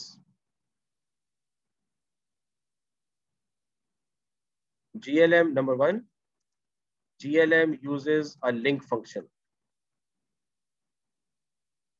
अब ये तो बड़ा आसान सा सोल्यूशन है। लिंक लिंक क्या कर रहा है वो? नॉन नॉर्मल को नॉर्मल के साथ जुड़ा रहा है। हमने कहा ना कि चीज़ें नॉन नॉर्मल चली गई हैं। अगर नॉन नॉर्मल होगी तो मैं तो उस पर काम नहीं कर सकता। मुझे उसको नॉर्मल एरर्स को नॉर्मल की रेंज में खींच के वापस लाना यही यही यही बात करते ना हम लोग। वो कैसे होगा? एक फ़ंक्शन का एक फ़ंक्शन यूज़ कर लो बस। जो कि उस डोमेन से चीज़ें उठा के इस डोमेन पे लीनियर डोमेन पे मैप कर दो। सही है? या नॉर्मल डोमेन वाले। एक तो ये कि लिंक फ़ंक्शन लिंक फ़ंक्शन इसके कोई तकरीबन दस के करीब है। ठीक है? और दूसरी चीज़ क्या है? मेन पॉइंट ये जो आप लोग समझ लें वेरिएंस बहुत ध्यान रखिएगा। ऑफ़ आर डेटा पॉइंट क्या ऑफ़ आर डेटा पॉइंट नहीं। Variance of each data point is a function of its predicted value. अब लॉजिक समझ में आई आप लोग कि? एक पॉइंट जो है, इसको इस तरह समझे कि ये एक हमारे पास पॉइंट है। इसकी एक्चुअल वैल्यू क्या है जो नज़र आ रही है ये? दिस वन ये इसकी एक्चुअल वैल्यू है राइट प्रेडिक्टेड वैल्यू क्या है इस एक्स पॉइंट की? इस एलओएस के पॉइंट की प्रेडिक्टेड वैल्यू क्या है? ऊपर चले जाए। ये। ठीक है? ये इसकी प्रोडिक्टेड वैल्यू है, ये इसकी एक्चुअल वैल्यू है। और इनकी डेविएशन को हमने मिनिमाइज करा जो कि ऑलरेडी हो चुकी है। अभी हम उस पर नहीं आ रहे, ठीक है? तो अब जीएम क्या कह रहा है? जीएलएम क्या कह रहा है? The variance of each data point कि एक डेटा पॉइंट जो है वो अपने मीन से कितना ज़्यादा डेविएट कर रहा है, वो मैं कैसे एस्टिमेट करूँगा? उसको प्रिडिक्टेड वैल्यू के थ्रू मैं एस्टिमेट कर रही बात की? तो प्रिडिक्टेड वैल्यू कितनी आ रही है वो मेरे हाथ में? क्योंकि वो तो एम और सी तो मेरे हाथ में ना, मैंने एस्टिमेट करना है उसको। तो मैं अपनी प्रिडिक्टेड वैल्यूज़ को इस्तेमाल करूँगा वेरिएंस को प्रिडिक्ट करने के लिए। यानी अब आप सोच रहे हैं कि नॉर्मल डिस्ट्रीब्यूशन में क्या होता है? I I force the data to lie within several standard deviation from the mean ये मैं आप लोग पढ़ चुके हैं ना? तो इसीलिए वो क्या कर रहा है कि प्रिडिक्शन को वेरियंस के साथ जोड़ दिया। क्योंकि मैं तो डेटा को नॉर्मल करना चाह रहा हूँ ना। तो उसने कहा कि मैं दो, एक बेसिकली दो कील लेकर आ रहा हूँ, जो कि जो कि आपकी तस्वीर को दीवार पे लटका देंगे। पहला कील क्या लिंक फ़ंक्शन इस्तेमाल करूँगा। दूसरा मेथड मैं क्या यूज़ करूँगा कि मैं वेरियंस को प्रिडिक्टेड वैल्यूज़ के साथ लिंक कर दूँगा, ताकि मैं प्रिटेड वैल्यूज़ को मजीद अपने कब्जे में लाके और उसकी वेरिएंस को जस्टिफाई कर सकूँ कि उसको नॉर्मल हमने रखना है। लिंक फ़ंक्शन तो मैपिंग कर देगा। मैपिंग कर देगा, लेकिन उस मैपिंग को मजीद बेहतर बनाने के लिए मैं दूसरा काम करता हूँ। बस आप इसके कॉन्सेप्ट को समझे, बहुत ज़्यादा मैथमेटिकली उलझने की ज़रूरत नहीं है। कॉन्सेप्ट को समझे कि variance is something which I want to control and now I am controlling the variance in GLMs based on the predicted values जो मेरे पास आई हालाँकि पहले तो हमने कभी इस तरह का कॉन्सेप्ट सोचा नहीं। हमने पहले तो इस तरह का कॉन्सेप्ट कभी सोचा भी नहीं। हम तो कहते हैं वेरियंस एक अलग चीज़ है जो कि स्टैंडर्ड डेविएशन से स्क्वायर्ड इज़ वेरियंस ऐसे ही है ना? अब हम इन दोनों को क्यों जोड़ रहे हैं? क्योंकि हम चाह रहे हैं कि तुम ज़बरदस्ती नॉर्मल डोमेन के अंदर आ जाओ। ये हमारी रिक्वायरमेंट है। तो जिस तरह से लोगों ने रिसर्च की है, वो यही दो मेथड्स थे जिसके थ्रू उन्होंने ये काम किया है। सही है? इज़ दिस थिंग क्लियर तो ये जीएलएम जो है ना, वो रिग्रेशन की एक जनरलाइजेशन है, जिसके थ्रू आप बहुत सारी रिग्रेशन को नॉर्मल डोमेन में मैप कर सकते हैं, चाहे वो पॉइसॉन रिग्रेशन हो बायनोमियल रिग्रेशन हो, कोई और रिग्रेशन हो ठीक है, वो सारी की सारी आपकी नॉर्मल डोमेन में मैप हो जाएँगी by using the concept of generalize linear models ठीक है? कॉन्सेप्ट क्लियर हो गया है? लिंक फ़ंक्शन और इसका जवाब आपको आना चाहिए कि वेरिएंस को मैं क्यों उसके साथ जोड़ा इसका जवाब आपको इसकी रीजन पता होनी चाहिए। जी। नॉर्मल डिस्ट्रीब्यूशन जब डेटा नॉर्मल डिस्ट्रीब्यूट होता है व्हाट डज दैट मीन कि your data lies lot of uh, 90% of your data lies within several standard deviations of the mean. सही है ना? तो स्टैंडर्ड डेविएशन चूँकि एक जरा हल्का मेजर है एज कंपेयर टू वेरिएंस क्योंकि उसका स्क्वायर्ड है ताकि हम नेगेटिव चीज़ें जो है ना उसको हम ओवरकम कर सके। तो वे ऑलवेज टॉप स्क्वायर की टर्म को हम लेते हैं। एरर का भी हमने स्क्वायर किया था। तो लिहाजा हम एस की बात नहीं कर रहे हैं वेरियंस की बात कर रहे हैं। तो वेरियंस ही नॉर्मल डिस्ट्रीब्यूशन का कर्व डिफाइन करती है। ऐसे ही है ना? तो लिहाजा मैं प्रिडिक्टेड वैल्यूज़ की बेस के ऊपर वेरियंस को कंट्रोल करना चाहता हूँ। By using the link function तो ये ये जनरल ओवरऑल बस चीज़ें कॉन्सेप्ट याद रखें क्योंकि स्टेटिस्टिक्स का कोर्स थोड़ी है ये। अच्छा इस केस में मैं आपको थोड़ा सा एक मैथ्स बता देता हूँ परेशान ना होइएगा। और मैं भी उसको अभी समझने की कोशिश कर रहा हूँ। एक्सपेक्टेड वैल्यू ऑफ़ इस केस में चलिए मैं कह देता हूँ H bill given L O S what is the expected value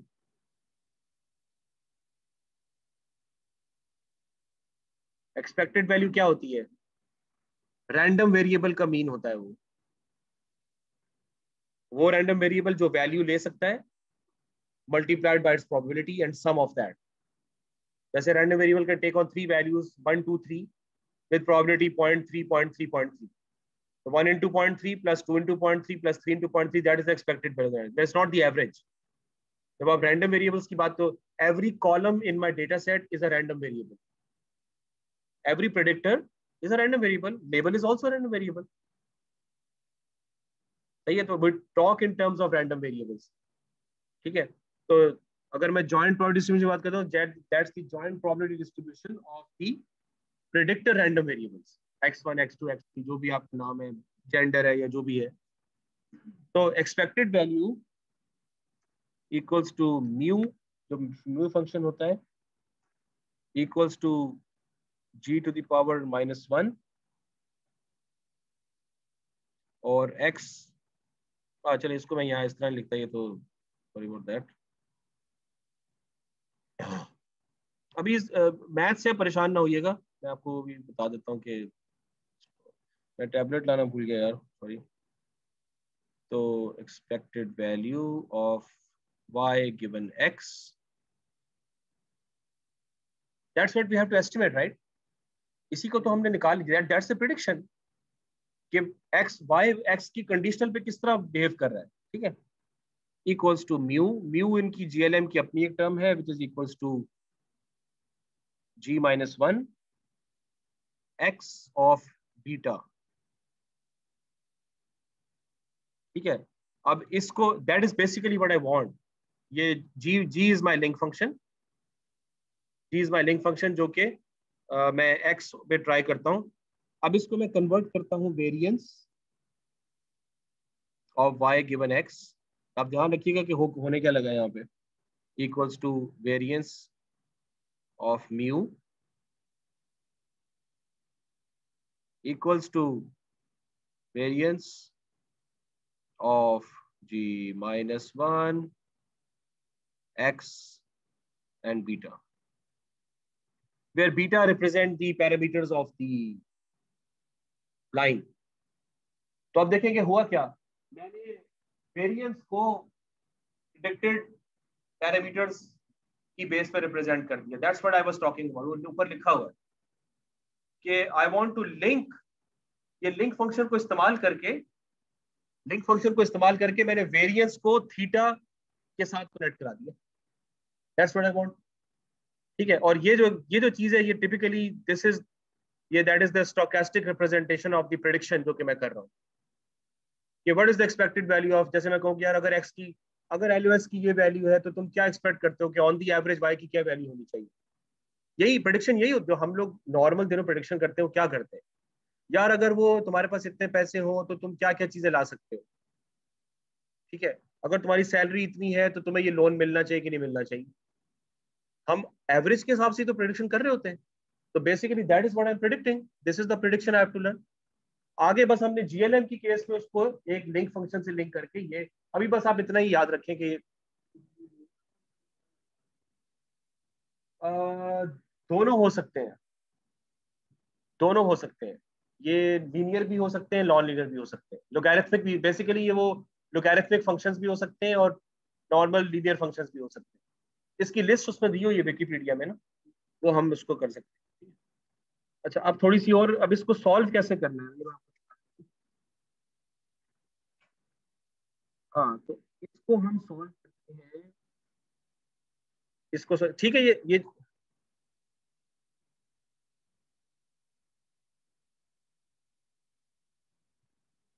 ये सही है? ठीक है? क्लियर होगी बात? अच्छा अब जो है ना, इसको हम, इसको मैं थोड़ी सी और मैथमेटिक्स लिख देता हूँ आपके लिए।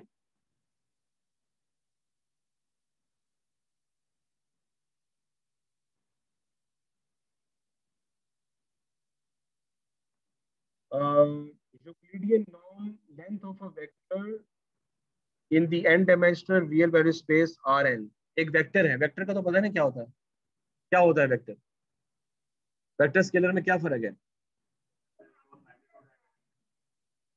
अच्छा अगर मेरे पास ये ट्रेनिंग डेटा है और उसमें मेरे पास एक, दो प्रोडिक्टर्स है, एक लेवल है एक्स वन एक्स वन ये पूरा वेक्टर के तौर पर रिप्रेजेंट कर सकता हूँ? कर सकते ठीक है। मैग्नीट्यूड डायरेक्शन दोनों डायरेक्शन होगी तो वो आपकी टेंजेंट वाला जो आप बात करते हैं डेरिवेटिव्स लेके आप that is why we can take the direction vectors हैं, ठीक है? तो एक वेक्टर का जो length of a vector euclidean norm से निकालते हैं, यानी उसको हम इस तरह रिप्रेजेंट करते हैं। एक्स अगर वेक्टर है, यहाँ पे हम टू लिखते हैं। So that is x one square plus x two square plus x n square और उसका फिर हम स्क्वायर रूट ले लेते हैं। अगर ये पूरे कॉलम का मैंने यूक्लिडियन नॉर्म निकाला लेंथ कितनी है? तो that's the way to find out the length of a vector ठीक है? अच्छा इसके बाद एक चीज़ आती है जिसको हम कहते हैं p norm. P norm is a family of functions जो कि स्टैटिस्टिकल या ऑप्टिमाइजेशन फ़ंक्शंस है। ठीक है, मैथमेटिकल कह सकते हैं। उनको हम इस तरह लिखते हैं एक्स ऑफ़ पी वही, तकरीबन वही चीज़ है। पी के मुख्तलिफ़ वैल्यूज़ हो सकती हैं।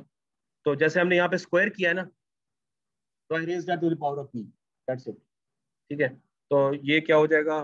X one to the power of p plus x two to the power of p plus blah blah blah x n the power of p and root of p जैसे square root लिया जाए तो ये root of P हो गया, खत्म हो गया बात। तो ये आपका हो गया पी नॉर्म और वो जीएलएम जो वो मालूम करते हैं जो जो क्या कहते हैं जीएलएम जिस तरीके से वो मालूम करता है, उसको हम कहते हैं आइटरेटिवली रिवेटेड डी स्क्वायर तो आई थिंक अब मैं इसको थोड़ा सा ऊपर भी इसको मैं अरेज करूँ।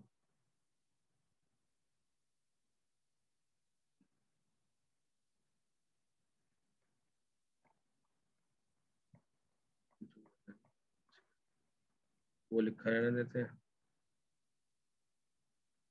तो ये जो टेक्निक है, उसको हम कह रहे हैं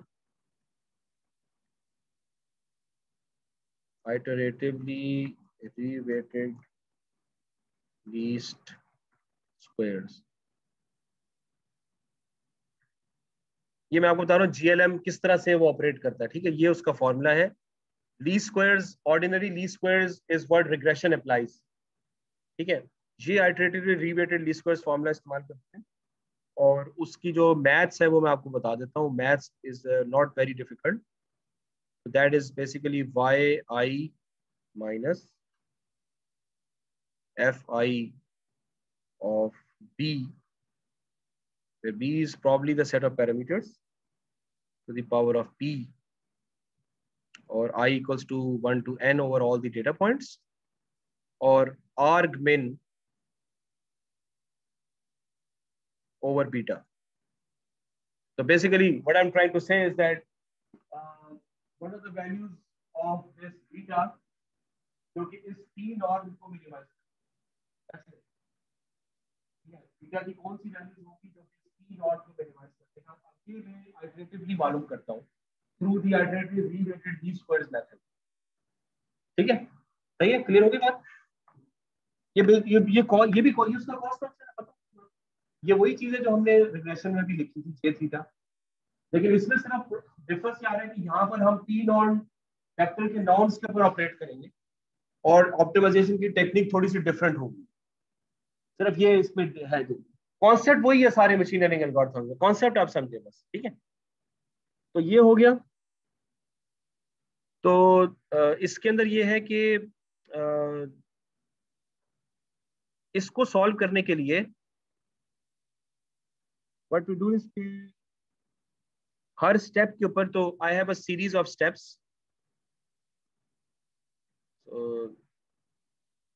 तीन ऑम का कॉन्सेप्ट भी क्लियर हो गया। ये मैंने बड़े अजीब तरीके से उसको किया है। तो just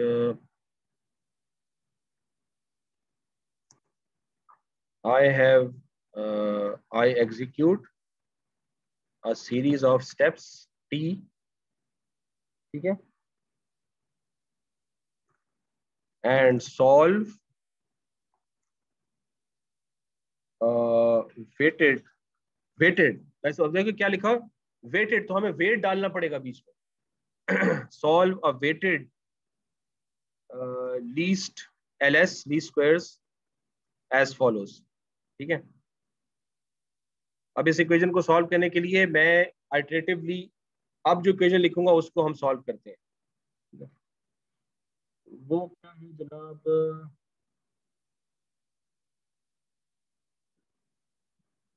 Beta t plus one equals to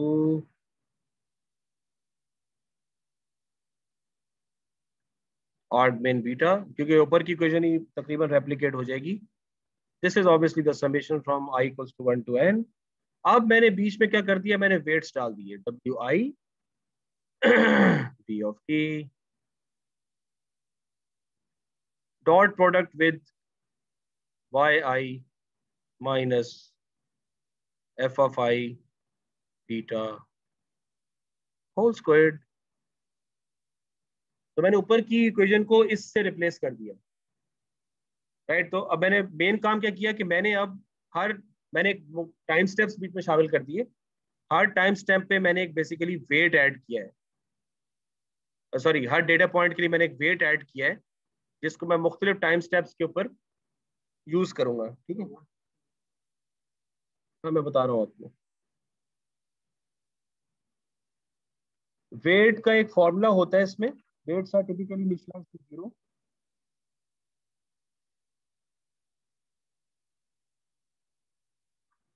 तो वेट जो है, वो आपके पास आ जाता है। दिस ये तो आपको आ गई होगी।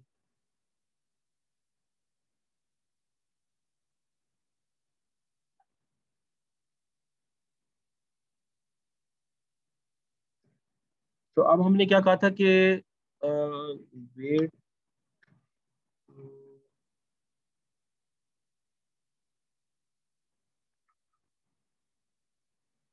जो हमारी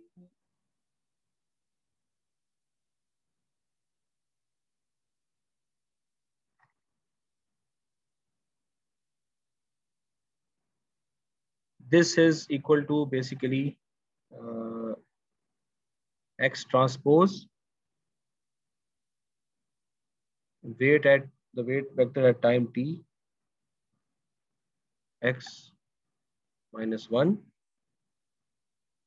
multiplied by x transpose weight transpose into y और वेट्स जो है ना वो मैं आपका इनिशलाइज करता हूँ ज़ीरो वेट्स वेक्टर ज़ीरो पे इनिशलाइज होते हैं weight at IT is basically yi minus xi bt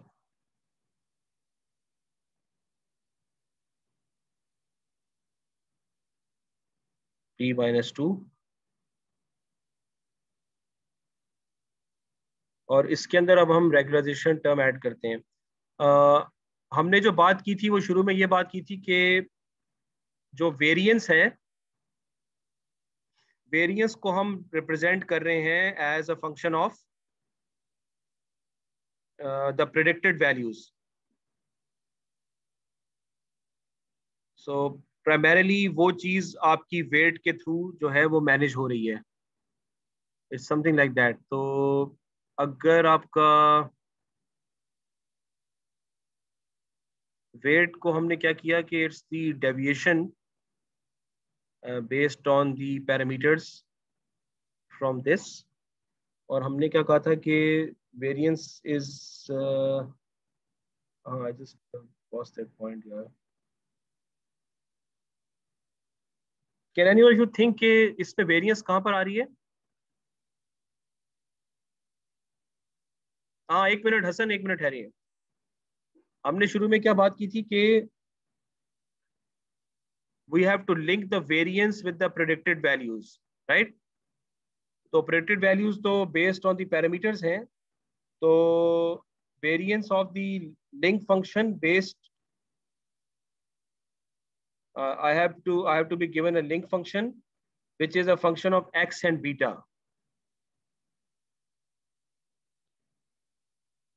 ये तो I am representing this as part of the variance I am linking this with the variance ठीक है? Variance को हम link कर रहे थे इसके साथ uh, एक्स के साथ और बीटा के साथ। ठीक है?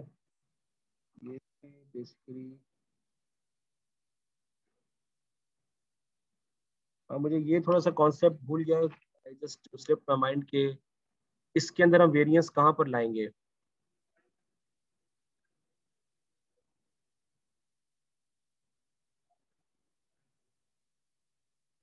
हाँ ये सॉरी ये ये मॉड्यूलस है sorry to the power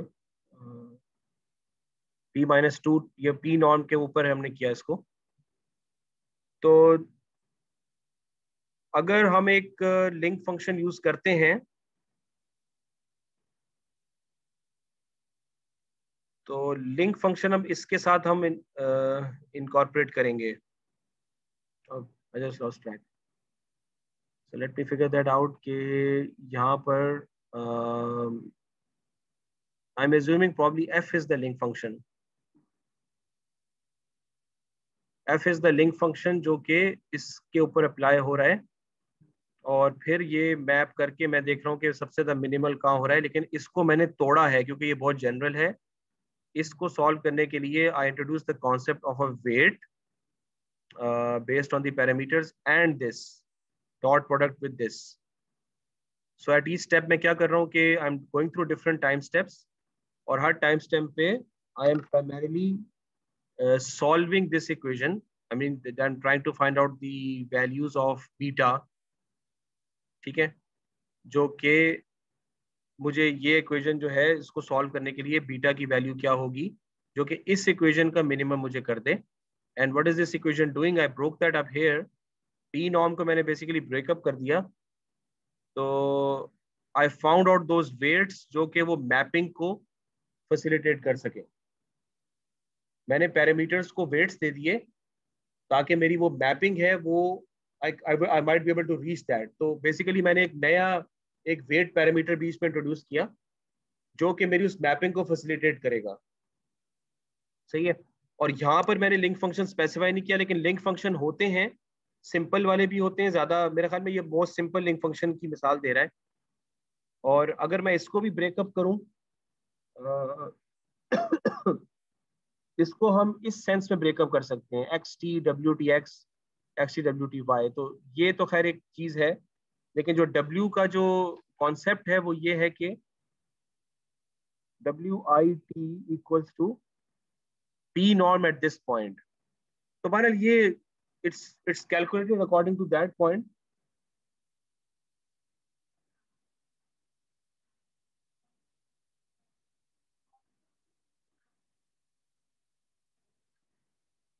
हम बेसिकली आप इसको इस तरह समझ लें कि हम प्राइमरीली कर ये रहे हैं कि जो डेटा मेरे पास है, अगर उसका वो डिस्ट्रीब्यूशन नॉर्मल नहीं है तो मैं ये कर रहा हूँ कि उसकी जो प्रॉबेबली जो वेरिएंस आ रही है ना उस डेटा की, उस वेरिएंस के ऊपर मैं एक फ़ंक्शन लगा रहा हूँ।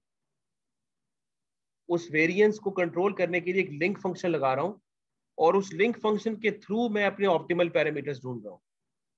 इस तरह की कोई गेम है। प्राइमरीली तो मैं ये वाला काम कर रहा हूँ जो कि रिग्रेशन में मैं यही करता हूँ, जो आसानी से लिखा हुआ है। रिग्रेशन में पी नॉम नहीं लेता बस, यहाँ में पी नॉम ले रहा हूँ।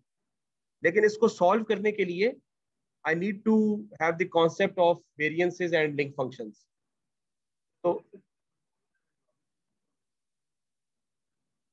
iteratively reweighted least squares में this is the approach that is going to happen सही है ये उसका है लेकिन इसकी इम्प्लीमेंटेशन डिफरेंट हो सकती हैं। कुछ लोग अपने नॉर्म इसको पी माइनस थ्री कर देंगे कुछ पी माइनस वन कर देंगे। लेकिन जो आइडिया है वो ये है। मैं थोड़ा सा इसमें थोड़ा कंफ्यूज हो गया हूँ क्योंकि I just what is the link various provides link uh, between this modelling जो हम कर रहे हैं और एक्चुअल डेटा हमारे पास है। ये तो लिंक फ़ंक्शंस जो होते हैं ना, वो एक्चुअली ये लिंक फ़ंक्शंस है आपके x beta equals to mu और x beta equals to minus mu minus one या equals to l n mu over one minus mu ये डिफरेंट लिंक फ़ंक्शन जो कि हम इस्तेमाल कर सकते हैं। Where mu is obviously the mean ठीक है? तो ये लिंक फ़ंक्शन है तो आप ये समझ लें कि ये हमारा लिंक फ़ंक्शन है। और ये जो लिंक फ़ंक्शन है, ये basically this is what I am I am linking this link function with variance ये ये बेसिकली बात हो रही है। कि लिंक फ़ंक्शन मुझे वो प्रिडिक्टेड वैल्यूज़ जो दे रहा है, वो लिंक फ़ंक्शन देगा। लिंक फ़ंक्शन की एप्लीकेशन के बाद I am going to get the predicted values और उसको फिर मैं वाई से कंपेयर करके मैं फिर अपने देखूँगा कि ऑप्टिमाइज कहाँ पे कहाँ पे चीज़ होती है जाके। लेकिन आ, हर स्टेप के ऊपर मैं ये वाली इक्वेशन सॉल्व कर रहा हूँ। बस आप इसको इस तरह याद रखें कि मैंने बेसिकली वेट्स का एक कॉन्सेप्ट बीच में इंट्रोड्यूस किया है। और आई वांट टू वेट की जो इक्वेशन है वो ये वाली है। तो probably weight is the link between the two domains जो कि मैं अचीव करना चाह रहा हूँ। कि वेट वाई और उसका जो, ये ये ये मेरा लिंक फ़ंक्शन है। ये मेरा लिंक फ़ंक्शन का यहाँ पे कोड होगा, जो भी होगा। और उससे जो प्रेडिक्टेड वैल्यूज़ आएँगी, मैं उसको वाई से माइनस करूँगा। And that is being represented by the weight at a time step और वेट में ऊपर आई आर एल एस की इक्वेशन में लेके जा रहा हूँ। तो ये, क्योंकि वो हमने चीज़ों को तोड़ दिया है ना डायरेक्टली रिग्रेशन हम नहीं कर रहे। अब हम दो तीन स्टेप्स के ऊपर काम कर रहे हैं। तो this is how it solve it basically ये इसका तरीका है इसको सॉल्व करने का तो हर टाइम स्टेप टी के ऊपर आई सॉल्व दिस इक्वेशन कि कौन सी ऐसी वैल्यू है बीटा की जो कि मुझे इस इक्वेशन को मिनिमाइज करके दे देगी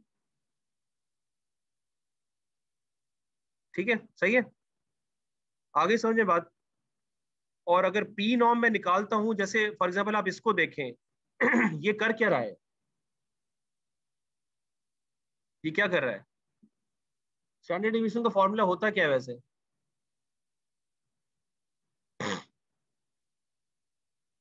स्टैंडर्ड डिविजन का क्या फॉर्मूला होता है?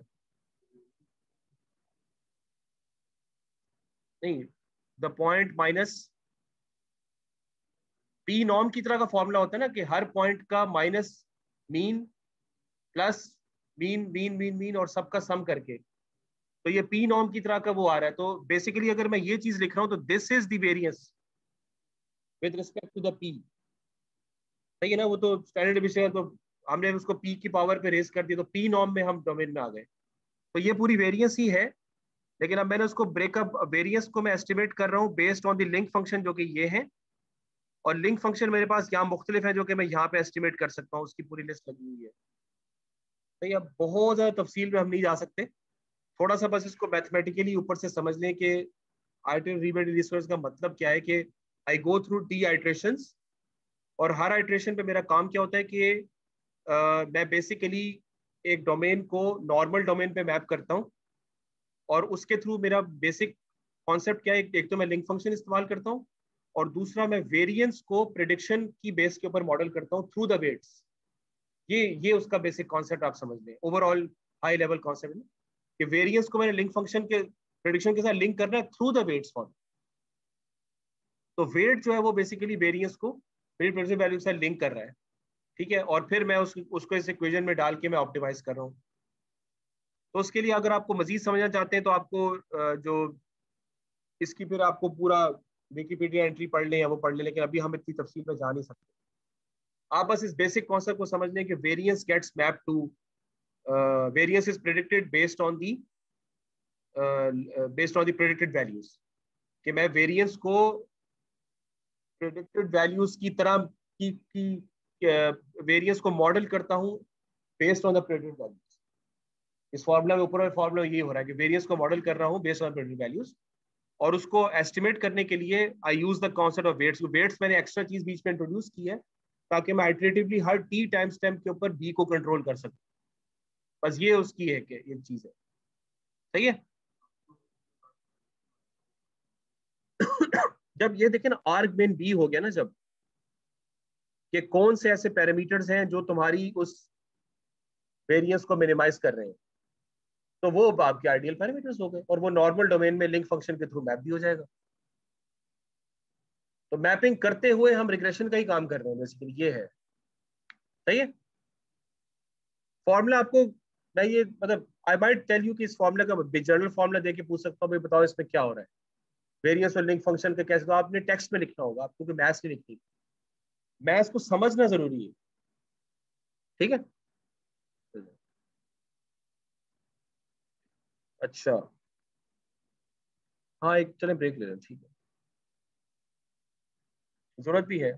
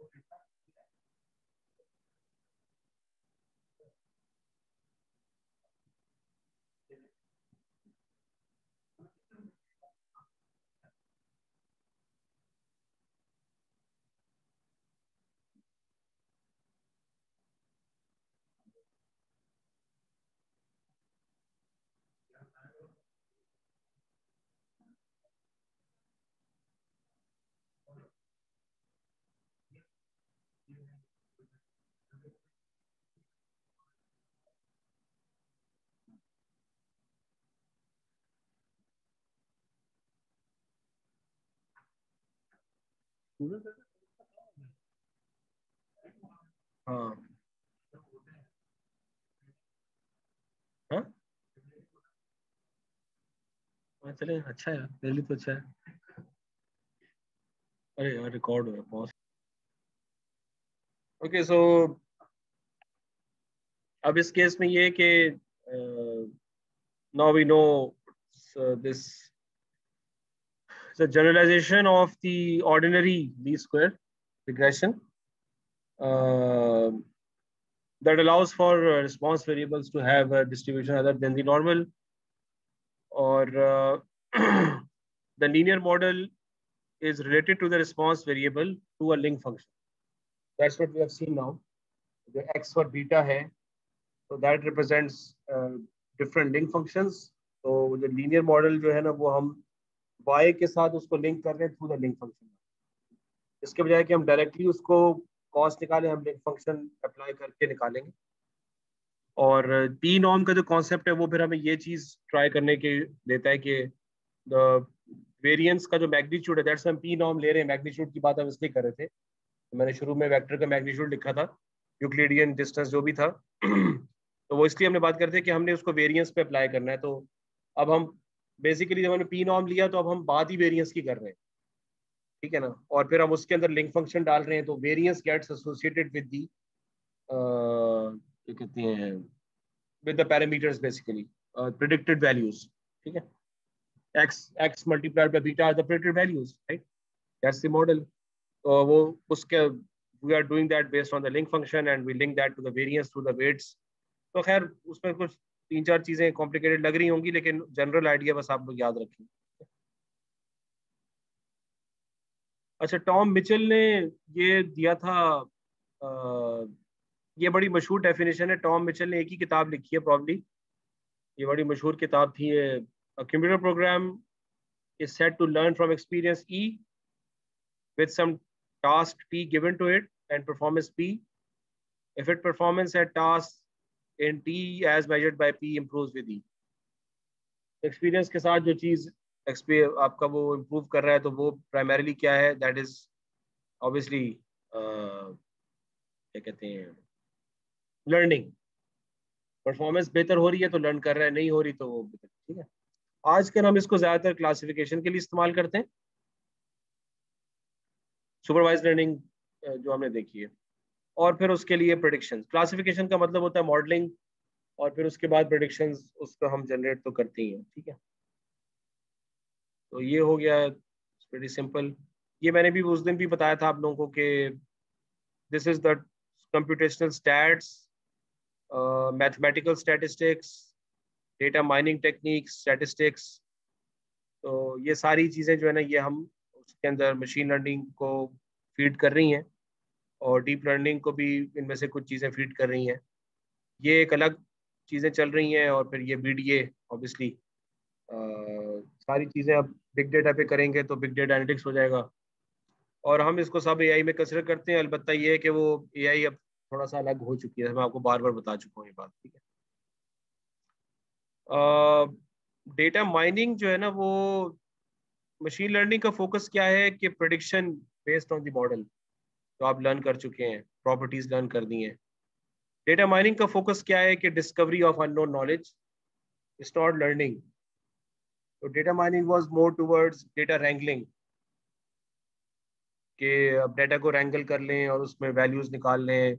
उसमें क्लस्टर एनालिसिस अभी भी एक बहुत मशहूर टेक्निक है जो कि रैंगलिंग लेवल पर समझी जाती है। There is no training data बस आपको एक पूरा ब्लॉक ऑफ़ डेटा दे दिया जाता है, आप उसको just find out the information from that अब उसके अंदर कुछ लोग लर्निंग को ले आए हैं।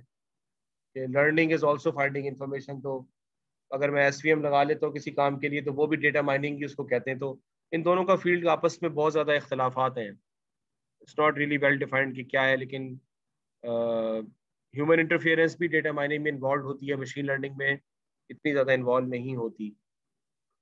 तो यहाँ पर हमारा गोल ये है कि एक्सप्लोर द डेटा और मशीन लर्निंग में हमारा गोल ये है टू मेक प्रोडिक्शंस ठीक है? इसमें काफ़ी ओवरलैप है। एनॉमली डिटेक्शन और एसोसिएशन रूल माइनिंग ये वो टेक्निक्स हैं जो डेटा uh, माइनिंग से ख़ास है। एनॉमली डिटेक्शन हो गया एसोसिएशन माइनिंग हो गई। क्लासिफिकेशन रिग्रेशन वगैरह वगैरह वो आ, दोनों के अंदर आ जाती हैं तो बस वो चल रहा है इसी तरह।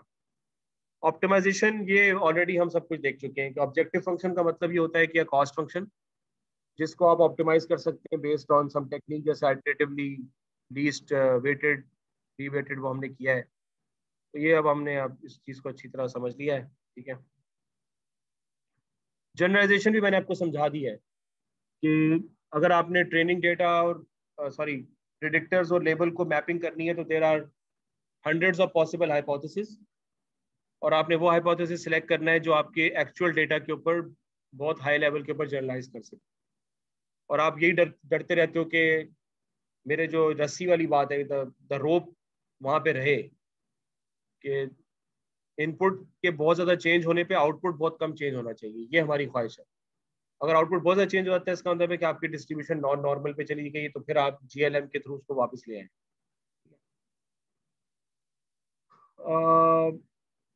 डीप लर्निंग एल्गोरिथम्स में जो ये चीज़ आप लोगों को मैं वैसे बता देता हूँ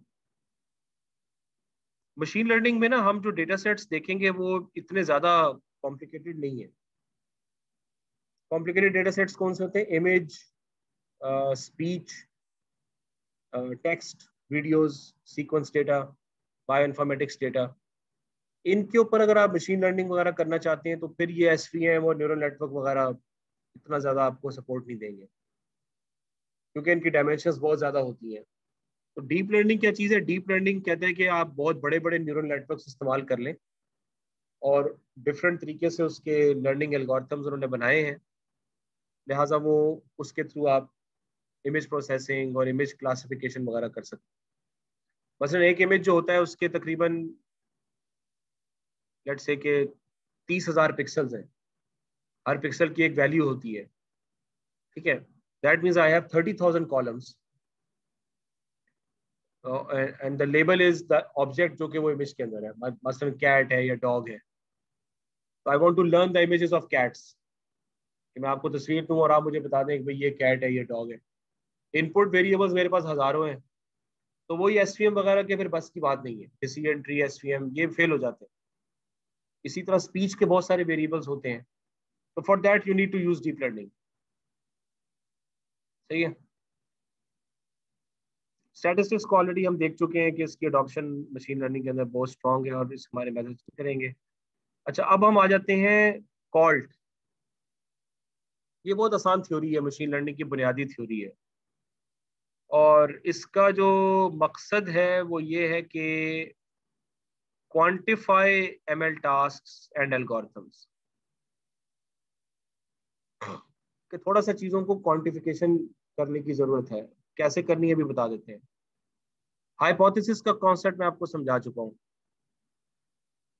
A possible function approximation from input to output predictor to output so there are many possible hypothesis for a given machine learning problem there are many possible hypothesis how can we be sure that our learning algorithm has produced a hypothesis that will predict the correct value for previously unseen inputs? ये तो मैंने कहा था ना, हमें ये करना है। ये तो करना है हमें कि प्रीवियसली अनसीन इनपुट्स जो लाइव डेटा में आ रही हैं, आपका मशीन लर्निंग मॉडल उसको जनरलाइज कैसे करेगा? That's what we have to do तो वो अब उसको क्वांटिफाई करने के लिए I have to use called एक थ्योरी होनी चाहिए जिसके ऊपर मैं इस बात का जवाब दे सकूँ, ठीक है? या दूसरे अल्फाज में how do we know that a model is a good approximation ठीक है? What hypothesis space should be use hypothesis तो बहुत सारे हैं मैपिंग के। ठीक है? हाउ डू वी नो कि मैं लोकल या ग्लोबल लेवल पे हूँ? जैसे बात हो रही थी क्या लोकल मिनिमा में स्टक हो जाए। How do we avoid overfitting how many data examples are needed इन सारे सवालों के जवाब हमें आने चाहिए। तो बेसिकली कहने का मकसद ये है कि अगर मैंने मशीन लर्निंग करनी है तो I need to have sort of framework जिसके थ्रू मैं इन चीज़ों को थोड़ा सा संभाल सकूँ। ये है, ठीक है? तो बच्चों वाला कॉन्सेप्ट मैं आपको बता देता हूँ, बस इसको ये मैं, ये भी मैं आपको ऑलरेडी बता चुका हूँ कि ट्रेनिंग एग्ज़ाम्पल जो है they always follow some probability distribution and the more numerical data you're going to have in your predictors, the better your machine learning is going to be. क्योंकि जो स्ट्रिंग वैल्यूज़ होती है ना, वो तो string values तो सिर्फ़ simple एक चिपकाने के लिए चीज़ें होती हैं। वो तो डायमेंशन होती हैं जिनके क्रॉस आप बी के चार्ट्स वगैरह देखते हैं। जो न्यूमेरिकल डेटा होता है ना, वो आपका सही बता सकता है कि आपका प्रिडिक्शन किस तरह से करनी है। केपीआई जिनको हम कहते हैं ना केपीआई तो खैर वो जो हमने प्रिडिक्ट करने हैं, जैसे सेल्स लेकिन सेल्स का ताल्लुक किससे हो सकता है? Number of customers number of visits number of page browses for example कितनी दफ़ा इस प्रोडक्ट को देखा गया, कितनी दफ़ा इस प्रोडक्ट को खरीदा गया। ये सारी चीज़ें ना ज़्यादा लिंक होती है। बहरहाल तो there is always a probability distribution of the predicted ठीक है? और हमने यही मॉडल बिल्ड करना है जो कि प्रॉबिलिटी डिस्ट्रीब्यूशन उसको लर्न कर ले जॉइंट प्रॉबिलिटी डिस्ट्रीब्यूशन को लर्न करके आउटपुट की मैपिंग लर्न कर ले, फिर मैं उस फ़ंक्शन को प्रोडिक्शन के लिए इस्तेमाल कर बेसिक कॉन्सेप्ट है, ठीक है? अच्छा इसके लिए दो प्रॉब्लम्स हमारे पास आ जाते हैं। कि मैंने आपको ये कॉन्सेप्ट दिया कि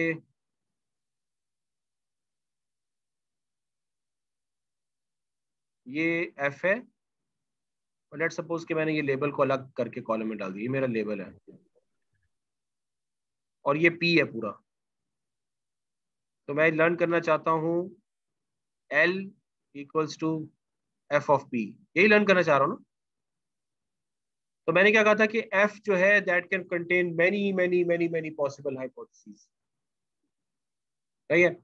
अब उसके अंदर से मैं एक चुन लेता हूँ, कहता हूँ, यार, ये बेस्ट है। क्यों जी? लाइन ऑफ़ बेस्ट बन रही है, ये हो रहा है, वो हो रहा है कॉस्ट फ़ंक्शन मिनिमाइज हो रहा है।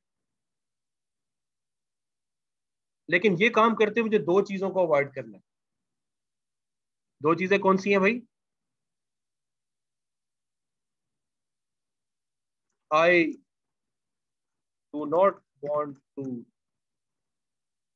underfit the data underfit का मतलब ये है कि बिल्कुल ही आपने कुछ नहीं पैटर्न पकड़ा। हाइपोथेसिस तो वो भी होगा। मसलन इसकी मिसाल क्या है?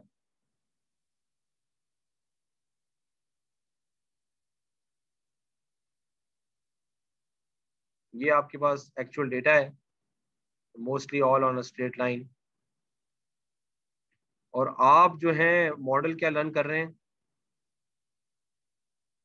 ये भी हाइपोथेसिस है ना? हाइपोथेसिस तो ये भी है तो ये भी है। लेकिन ये इंतहाई किस्म की अंडर फिटिंग है। इंतहाई मिसमैच अंडर फिटिंग आप इसको कह लें कि इस, ये मॉडल प्रिडिक्शन तो जनरेट नहीं करेगा। This is called underfitting ठीक है? और दूसरे केस में I do not want overfit the ये आपने नाम पहले भी सुना होगा overfitting overfitting overfitting data science के अगर लेकिन मतलब क्या है इसका? मशीन लर्निंग थ्योरी में मतलब ये है कि अगर मैं इस डेटा को ओवरफिट करूँ तो मैं कहूँगा,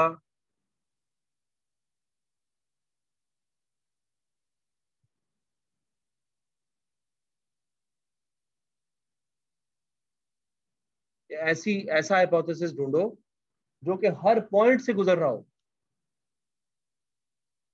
तो ये तो जनरलाइज कैसे करेगा भाई? अगर इसकी मिसाल ये है कि एक छोटा सा बच्चा है, उसने कभी ज़िंदगी में मछली को नहीं देखा, आप उसको एक बड़े से कोरियन में ले जाए इसमें शाख तैर रही है। तो कहे, भाई, ये बेटा, ये मछली होती है।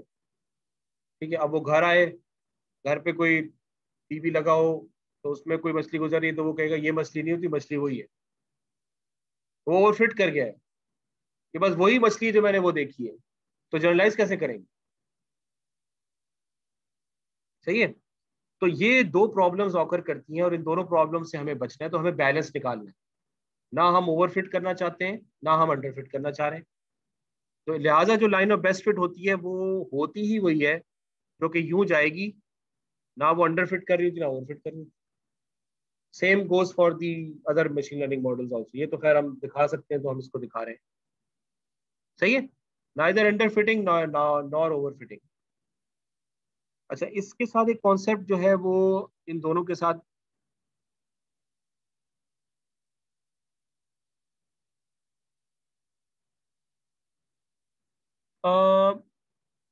एल एस टी एम जो है ना वो बेसिकली एक टाइम uh, सीरीज़ का आप समझ लें मॉडल है लेकिन हम उसको रिग्रेशन के लिए भी इस्तेमाल कर सकते हैं। उसके अंदर ओवर फिटिंग को अवॉइड करने के कुछ मेजर्स होंगे जो कि मेरे अभी जहन में नहीं है। जैसा कि हमारे पास रेगुलराइजेशन वगैरह होती है, इस तरह हमारे पास डीप लर्निंग में भी होती है। ठीक है तो रेगुलराइजेशन की जो टेक्निक्स हैं, अगर आप वो इस्तेमाल कर लेंगे तो it is going to ensure कि वो ओवर फिट नहीं करेगा। तो आपके पास दो या तीन मुख्तलिफ़ किस्म की रेगुलाइजेशन होती हैं।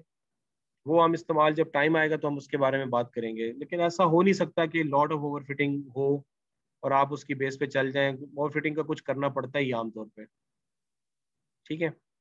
अच्छा इसके साथ इन दोनों के साथ अंडर फिट और overfit associated associated with that is a very important concept in machine learning which is called the bias variance trade-off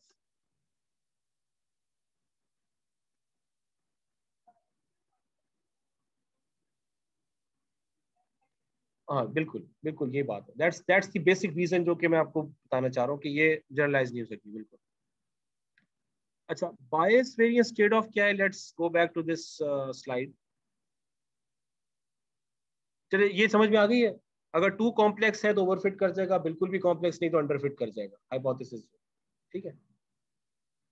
ये मिसाल आप देखें अंडर फिटिंग की मिसाल आप देखें कि यहाँ पर सॉरी नहीं नहीं, ये दो क्लासेस है ना। ये दो क्लासेस हैं, हमने एक ऐसी लाइन बनानी है जो इन दोनों को आपस में डिस्टिंग्विश कर ले। अब ये अंडरफिट इसलिए कर रहे हैं क्योंकि दोनों तरफ़ दोनों चीज़ें आ रही हैं। हालाँकि एक तरफ़ एक होना चाहिए ताकि मैं डिस्टिंग्विश तो कर सकूँ ना उसको।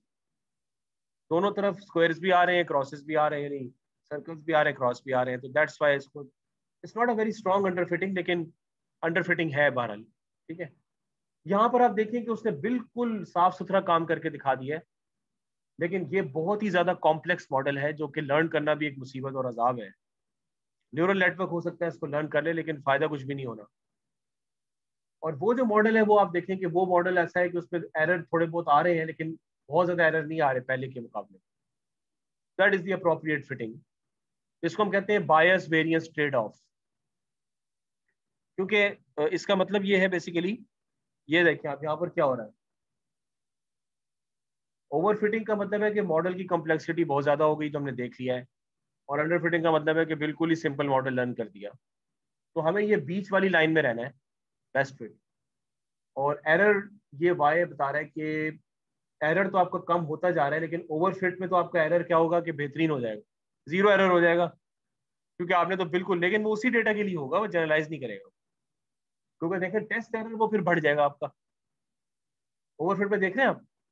ओवरफिट में ट्रेनिंग एरर तो बेस्ट जाएगा। लेकिन जब टेस्टिंग डेटा लेके आएँगे तो वो बेसिकली काम खराब कर देगा। नहीं रियल डेटा पे सीख, सीखा ही नहीं ना उसने। क्योंकि उसने उसने इस को इतना ज़्यादा सीख लिया है कि वो जरा सा डेटा जैसे मैंने कहा इसकी जरा सी हिलेगी डिस्ट्रीब्यूशन थोड़ी चेंज होगी, वो फेल हो जाएगा। क्योंकि उसने सिर्फ़ इसी को सीखा है। टेस्ट डेटा को कोई भी दे देंगे तो वो नहीं कर सकेगा। लिहाजा आप देख रहे हैं कि टेस्ट डेटा में टेस्ट एरर ओवरफिटेड डेटा में टेस्ट एरर बहुत बढ़ जाएगा अच्छा अंडर फिटिंग में जो है वो आपका एरर दोनों तरफ़ से रह सकते हैं। अंडर फिटिंग में दोनों केसेस में आपका एरर स्ट्रॉन्ग है। ट्रेनिंग एरर भी ज़ाहिर सी बात है खराब होगा, जो आप सीखे कुछ नहीं है। और टेस्टिंग भी खराब होगा। जब आपने ट्रेनिंग नहीं सही की तो टेस्टिंग कैसे सही होगी? तो अंडर फिटिंग हमारे लिए ज़्यादा क्रिटिकल चीज़ है, जिसको हम लाजमी हर हाल में अवॉइड करना है। आमतौर पर जो एल्गोरिथम्स होते हैं, वो टिपिकली ओवर अंडर को अवॉइड कर ही देते हैं। इतना ज़्यादा मसला होता नहीं है। लेकिन इसको बचाने के लिए हमें कुछ टेक्निक्स आमतौर पर लगानी पड़ती हैं। अच्छा इसी के साथ एसोसिएटेड जो कॉन्सेप्ट है, वो है बायस और वेरिएंस का। अंडर फिटिंग और ओवर फिटिंग के साथ। अंडर फिटिंग का मतलब क्या है? हाई बायस अब इसका मतलब क्या है कि जब मैं मॉडलिंग करता हूँ तो मैं कुछ अजम्पन्स लेता हूँ। बायसनेस होने का मतलब क्या है कि मैंने अपनी एजम्पन्स का बहुत ज़्यादा मैं उसकी तरफ़ बायस्ड हो गया। कि नहीं भी मेरे दिन में तो ये बात आ रहा है, यही होगा और मैंने उस पर ज़बरदस्ती मॉडल फिट कर दिया। तो बायस क्या हो गया कि बहुत स्ट्रांग हो गया। लेकिन वो इतना स्ट्रांग हो गया कि I am not able to explain the variance in the data कि डेटा में जो डेविएशन वगैरह आ रही है, मैं उसको एक्सप्लेन नहीं कर पाऊँगा, यानी प्रोडिक्शंस मेरी खराब हो जाएँगी। सही है? यहाँ लिखा हुआ मैंने। हाई बायस का मतलब क्या है?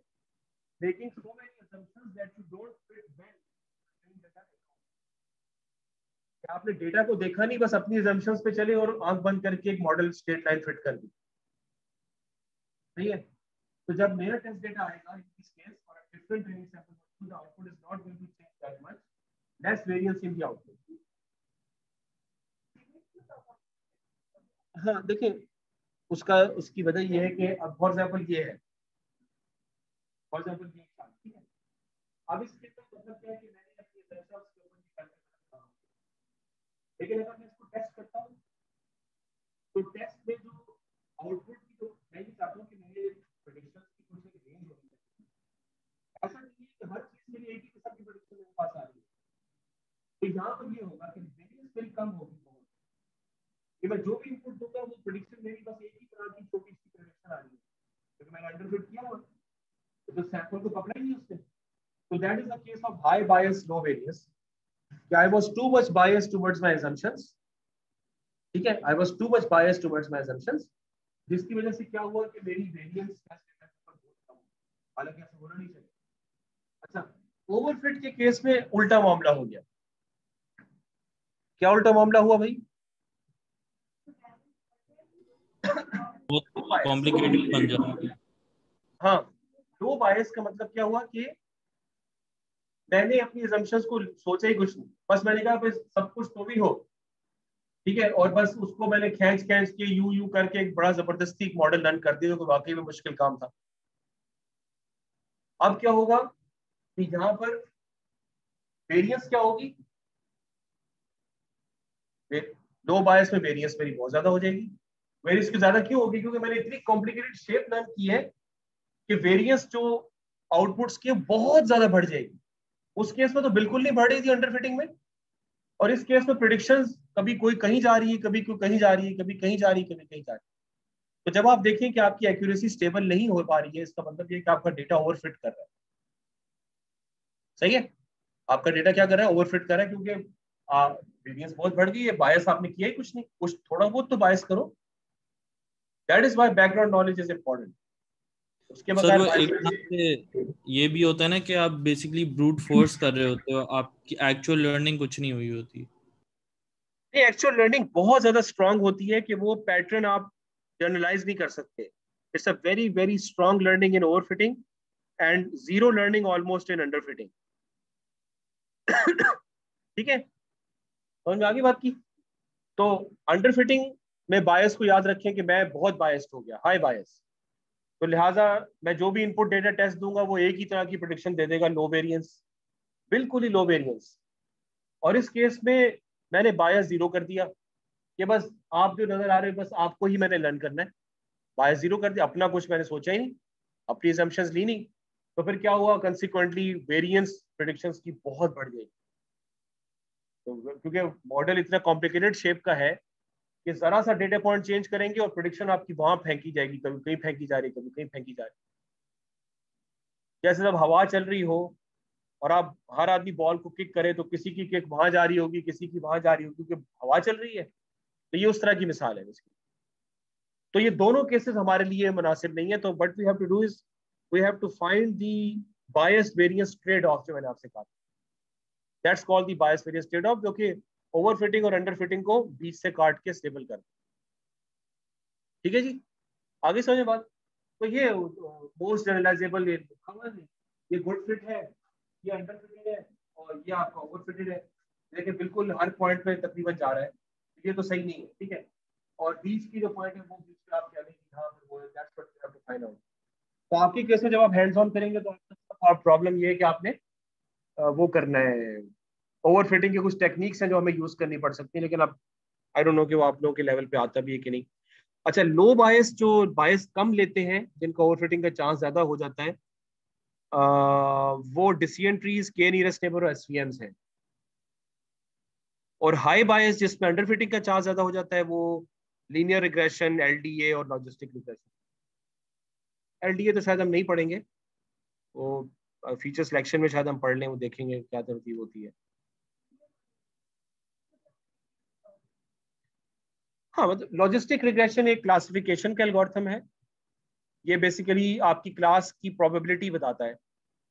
रादर देन सेइंग के लेबल ये होगा, वो बताता है कि लेबल की प्रोबेबिलिटीज ये होंगी। So it find out the probabilities but it's also a type of regression is used for classification linear तो वो used for prediction of numerical variables ठीक है? ठीक है जी, समझ में आ गई? अच्छा आप दूसरी जो चीज़ें बीच में हमारे पास हैं, वो how can we be sure that our learning algorithm has produced hypothesis that will predict the correct value for previously unseen inputs के इसको क्वांटिफाई करना है हमें ना बेसिकली अब देख, ये जो हमने सारी बात की है बायस वेरियंस ट्रेड ऑफ़ की, या मशीन लर्निंग की थ्योरीज पढ़ रहे हैं, बुनियादी थ्योरीज ठीक है?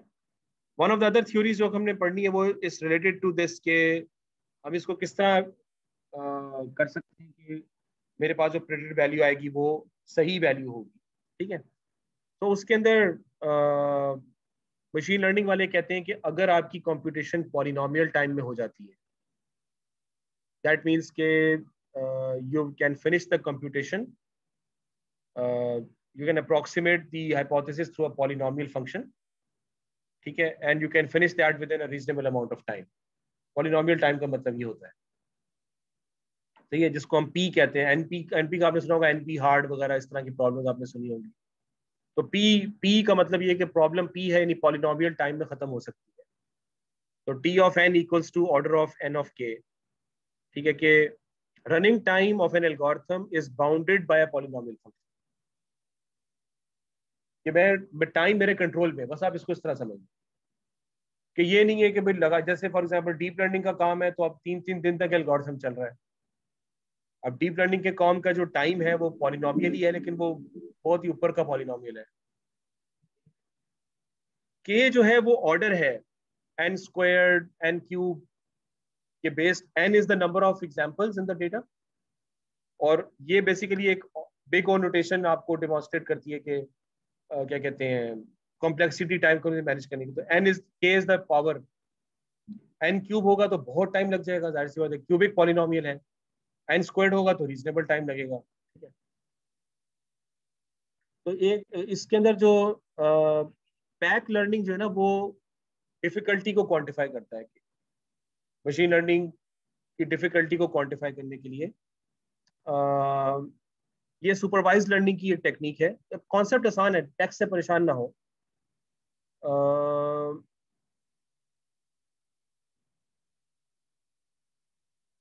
हाँ पैक क्या कहता है कि how much effort is required to find a hypothesis that is a close match neither underfit nor an overfit ठीक है? कितना एफर्ट चाहिए आपको? तो हम कॉन्सेप्ट तो समझ चुके हैं। अब हम बात करें कि हमें कितना एफर्ट चाहिए कि हमें लाइन ऑफ़ बेस्ट फिट मिल जाए। इसका आइडिया क्या है? इसका आइडिया बेसिकली यही है कि वो एरर के थ्रू हमें पता चलेगा कि कितना अच्छा कर रहे हैं, कितना बुरा कर रहे हैं। तो पैक कहती है कि अगर आपने एरर को मिनिमाइज कर लिया तो आप लाइन ऑफ़ बेस्ट फिट पे पहुँच जाए दैट इज़ वाई हम एरर के ऊपर सारे ऑप्टिमाइजेशन ऑब्जेक्टिव फ़ंक्शन लगा रहे हैं, क्योंकि पैक ने उसको इस तरह का एक मॉडल बना दिया। तो हवाई फायर नहीं है बेसिक मशीन लर्निंग की थ्योरी है कि अगर आप एरर को ऑप्टिमाइज कर लेंगे तो आप लाइन ऑफ़ बेस्ट फिट तक पहुँच जाएँगे while avoiding over fitting and under fit सही है? दैट्स द बेसिक थ्योरी है बस, और ये है कि अंडरलाइन प्रिंसिपल क्या है कि अगर आपने कोई गलत हाइपोथेसिस दिया है, उसका आपको एरर के टाइम पर पता चल जाएगा कि क्या है, ठीक है? It will make an incorrect prediction thus, any hypothesis that is consistent with a sufficiently large set of training examples is unlikely to be seriously wrong. तो अगर आपका जो मशीन लर्निंग मॉडल है, वो बहुत ज़्यादा ट्रेनिंग या टेस्टिंग एग्जांपल्स के ऊपर एक्यूरेसी एक रेंज में दे रहा है तो आप समझें कि आप पहुँच गए that is why we adopt this approach क्योंकि पैक ने इसको अप्रोच को कितने साल पहले तो पक्का कर दिया। तो इसको हम कहते हैं probably approximately correct I am not hundred percent correct but I am probably approximately correct तो आई एम मैं वो लिखता हूँ जो कि इस थ्योरी के साथ मुझे अच्छा फ़ंक्शन मिल जाता है, ठीक है? तो इसमें हम ये समझना चाहते हैं कि how large a data set needs to be अब ये वो वाली बात आ गई जो मैंने आपको रैंगलिंग में बताई थी कि सैंपल कितना होना चाहिए। अब ये पैक लर्निंग से आपको पता चलेगा। किस किस्म के डेटा को सॉल्व करने के लिए मुझे कम अज कम दो साल का, तीन साल का डेटा चाहिए, ताकि मैं पैटर्न को इतना अच्छा पकड़ लूँ कि मेरा एरर मिनिमाइज हो जाए। ठीक है? In order to give a good generalization एक थ्योरी है कि मशीन लर्निंग करनी किस तरह है। एरर्स को मिनिमाइज करें, वो जो हम कर रहे हैं, जो हमने पहले से बात कर भी दी है, कि हमने एरर को जो मिनिमाइज करना है, वो इसलिए करें क्योंकि पैक ने हमें ये रिकमेंडेशन दी हुई है। कि this is the way to do machine learning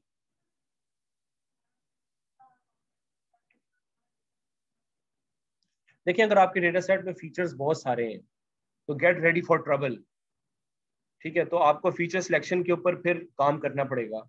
और जैसे मैंने आपको बताया कि आप कोशिश ये करें कि आपके पास ज़्यादा न्यूमेरिकल डेटा इनपुट के ऊपर। स्ट्रिंग डेटा को मुसीबत है स्ट्रिंग डेटा को आपको न्यूमेरिकल में कन्वर्ट तो करना ही पड़ेगा which does not make sense in many cases for example आपने लोकेशंस को रिकॉर्ड किया हुआ है। अब लोकेशन मेरे पास डेटा सेट के अंदर पचास लोकेशन है। कराची की लाहौर की कहीं की भी है। I have fifty location if I discretize 50 locations, how do I discretize them? 1 to 50? Why? because 2 is greater than 1 3 is greater than 2 there is no numbering between the locations कोई ऑर्डर तो नहीं है। तो फिर मैं क्या करता हूँ? फिर मैं करता हूँ कि मैं मुसीबत करता हूँ कि मैं उसकी डमी एनकोडिंग कर देता हूँ। कि मैं हर वैल्यू के लिए एक अलग कॉलम क्रिएट करता हूँ और जब वो वैल्यू ऑफ़र करेगी वन करता हूँ बाकी सबको ज़ीरो करता हूँ। Dummy encoding one hot coding करेंगे? हाँ वन हॉट एनकोडिंग भी कहते हैं इसको। तो that is going to give me 50 columns fifty columns of data जो मेरे मशीन लर्निंग प्रॉब्लम के लिए मुसीबत बन जाएगा। ऐसे ही ना? तो मेरी ख्वाहिश होगी कि लोकेशन को हटा दो।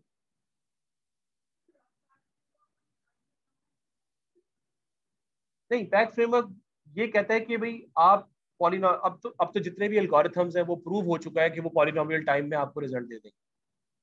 तो अब हमें कुछ, हमें तो सिर्फ़ पाइथन पे अब काम करना है ना। मैं तो आपको थ्योरी समझा रहा हूँ आपको मशीन लर्निंग वन में अगर आपको पैक नहीं पता तो फिर क्या करें? ठीक है? ये ये चीज़ है। तो पॉलिनोमियल टाइम में अगर एक एरर फ़ंक्शन पॉलिनोमियल टाइम में ऑप्टिमाइज हो जाता है then it's a machine learning अगर वो नहीं होता तो फिर आपको कोई और चीज़ करनी पड़ेगी। और आखिरी जो चीज़ है वो हमारी ये वीसी डायमेंशन है, ये थोड़ा सा डिफरेंट किस्म का कॉन्सेप्ट है। ये दो बंदे थे। अच्छा इसको प्रपोज किया था लेस्ली ने। लेस्ली वेलियंट ने। और इसको प्रपोज किया था वेबनिक और शर्बॉन एंड किस ने। ठीक है? तो यहाँ पर कैपेबिलिटी हम देख रहे हैं। यहाँ पर हम क्या देख रहे थे? क्वांटिटी कितना टाइम लगेगा? यहाँ पर हम देख रहे हैं कि कैपेबिलिटी क्या है कि तुम कितना अच्छा क्लासेस को तकसीम कर सकते जैसे हमने वो देखा ना ये ये जो चीज़ हमने देखी थी, ये वाली। तकसीम करना है ना दो डिफरेंट क्लासेस को या तीन डिफरेंट क्लासेस को। तीन होंगी तो और मुसीबत पड़ जाएगी। टिपिकली हम टर्सरी लेवल पे जाते नहीं बाइनरी पे ही रहते हैं। ठीक है?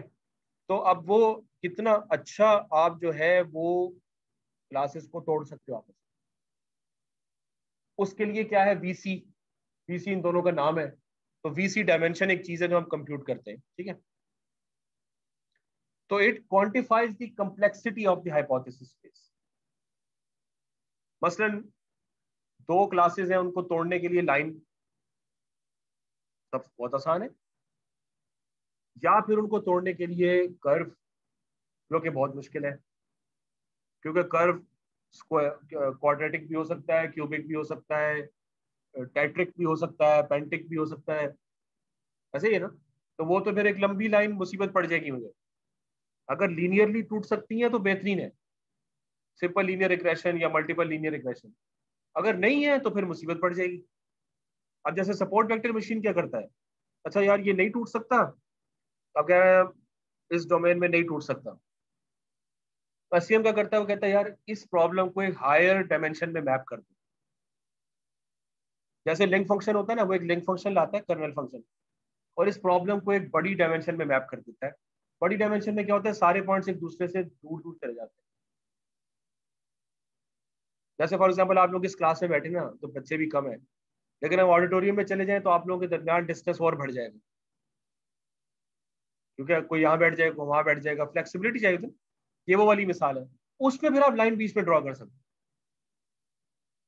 एस का कॉन्सेप्ट ये ठीक है? तो मकसद यही है कि हमने उसको तोड़ना कैसे है? उसके लिए आपके पास एक चीज़ है, जिसको हम कहते हैं VC dimension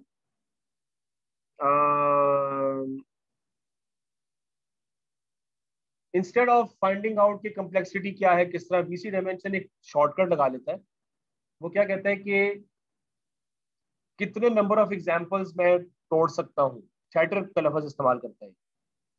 तोड़ने का मतलब मैं फतह कर सकता हूँ। How many number of examples I can break before I can say हाँ यार मुझे मैंने मॉडल लर्न कर लिया। अब फॉर एग्ज़ाम्पल ये तीन पॉइंट्स हैं Z one Z two Z three ठीक है? अगर ये तीनों, तीन डिफरेंट क्लासेस से बिलोंग करते हैं। सही है?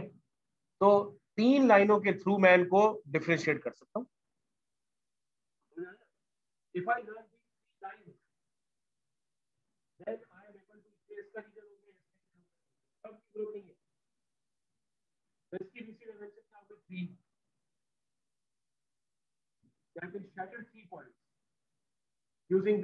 Three lines. तीन से कम नहीं होगा। अगर मैं एक भी लाइन हटा दूँगा तो हाँ फिर कुछ ना कुछ गड़बड़ आ जाएगी क्या गड़बड़ आ जाएगी। तो ये लाइन हटा दूँ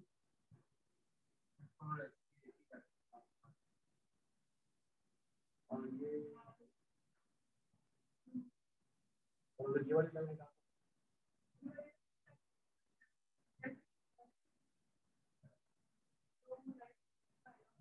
मतलब इससे बेसिकली कॉन्सेप्ट इसके कॉन्सेप्ट ये क्या होगा लेकिन टेक्स्ट की हम इसका सॉल्व करते हैं कि ये एक है, ये दो।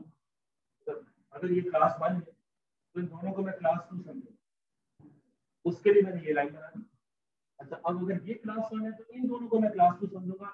उसके लिए मैंने ये लाइन बना दी अगर ये क्लास वन है तो इन दोनों को मैं क्लास टू समझूँगा, उसके लिए मैंने ये लाइन बना तो उस सेंस में फिर मिनिमम रिक्वायरमेंट ये तो टर्शी बाय इटसेल्फ कोई चीज़ नहीं, हम उसको मल्टीपल बाइनरी में ही ब्रेक करते हैं।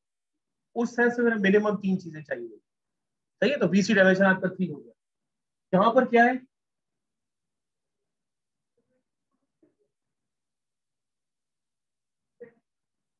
हाँ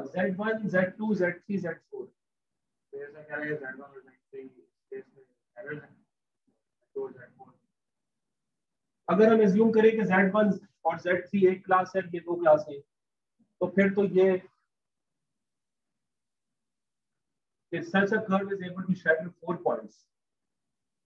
और अगर ये ये मुख्तलिफ़ है क्लासेस फिर फिर तो नहीं हो सकता ना? क्योंकि कर्व के अंदर तो एक ही क्लास होनी चाहिए। और कर्व के बाहर दूसरी क्लास होनी चाहिए। तो क्लास वन और क्लास टू तो this is able to shatter four points basically सही है? इसकी पढ़ लेते हैं थोड़ा सा मैंने चीज़ें बीच में मिस कर दी थी। Um, number of distinct instances that can be completely discriminated using H. so this is one possible hypothesis. ये तीन लाइनें जो हैं ये H. This is one possible H. तो इससे आप कितने इंस्टेंसेस uh, को डिस्क्रिमिनेट कर सकते हैं तीन को बड़े आराम से अच्छी तरह से अलग अलग कर सकते हैं ठीक है और इसमें मैं चार इंस्टेंसेस को अलग अलग कर सकता हूँ इसकी बीसी डायमेंशन थ्री हो गई इसकी फोर हो गई अभी चूँकि हमें इसका वो इक्वेशन ऑफ़ द कर्व पता नहीं है ना तो इसलिए थोड़ी कंफ्यूजन हो रही है लेकिन आप जनरल आइडिया पकड़ लें estimates the capability of a classification algorithm for a specific data set वो जो आपने बात की थी ना कि डेटा सेट को देख के कैसे पता चलेगा तो वो आमतौर पे आजकल हम बीसी डायमेंशन नहीं एस्टिमेट करते हैं।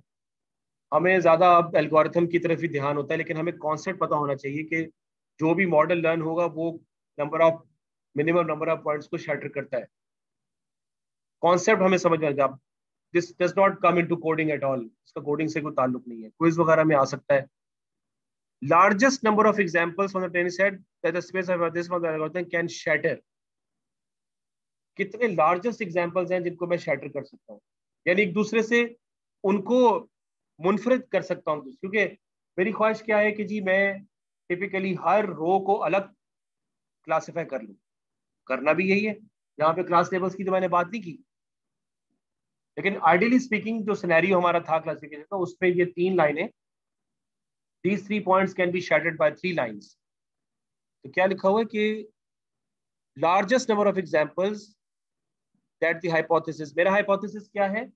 ये तीन लाइनें हैं, और सबसे ज़्यादा एग्जाम्पल्स कितनी शैटर हो सकती because that's what I want जितनी ज़्यादा शैटर हो जाए, वो बेहतर है। तो अगर मैं कहूँ कि इन तीनों की क्लास अलग है, अब मुझे उसकी टेंशन नहीं है। नहीं है तो है। हो खत्म। सही है ना? तो जो पॉइंट इस इस डब्बे में आएगा, वो इसके कलर का बनेगा जो पॉइंट इस डब्बे में आएगा, उसके कलर का बनेगा क्लास का हो जाएगी और जो यहाँ पर आएगा, उसकी क्लास का हो जाएगा सही है तो आई एबल टू सेटल अभी तो खैर ये ट्रेनिंग डेटा सारा नहीं है। तो लार्जेस्ट नंबर ऑफ़ पॉइंट्स में कहते हैं दैट्स द बीसी डायमेंशन तो इससे जो मैक्सिमम पॉइंट्स में शेडर कर सकता हूँ, वो तीन है। Why not more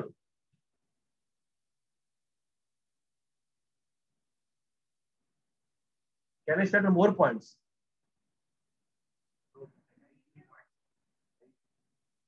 हाँ इन तीनों के लिए तो यही है। And this can shatter four points ये जो कर्व है this can shatter basically four points. तो ये में इक्वेशन का कर्व अभी थोड़ा सा वो मिसिंग है। जो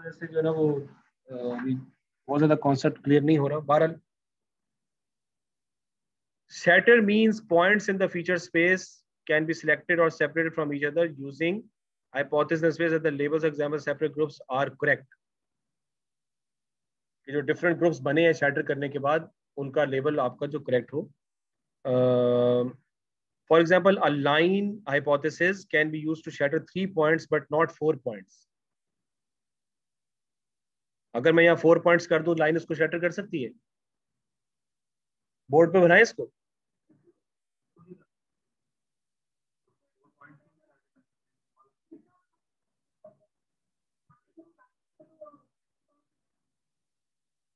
क्या लिखा हुआ है?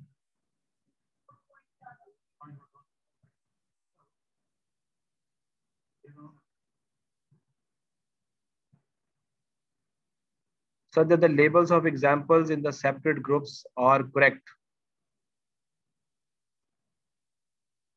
अच्छा अगर मैं चार पॉइंट्स बनाऊँ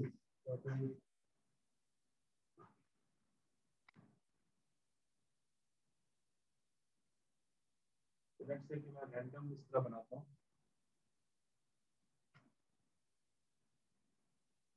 so let me let me take this as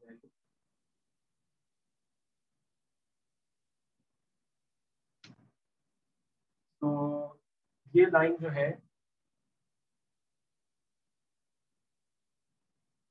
इस केस में तो हो रहा है, ठीक है? अच्छा if I have something like this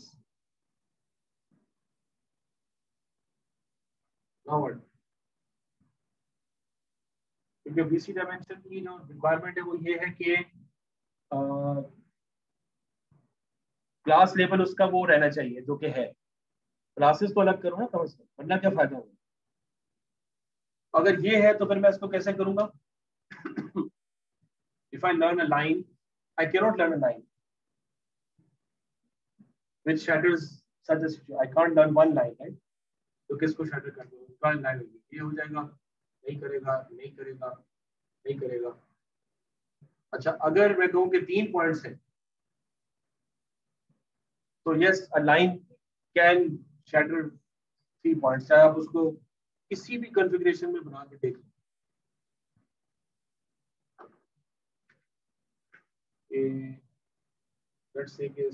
that तो अगर ये है,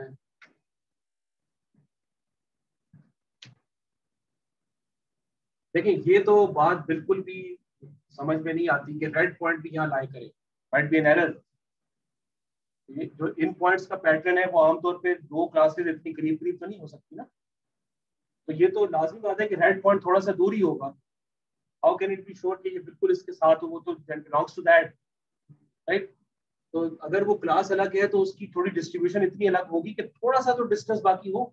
अगर थोड़ा सा भी डिस्टेंस बाकी होगा तो it can be shattered through line तो लिहाजा इसकी वीसी डायमेंशन थ्री है।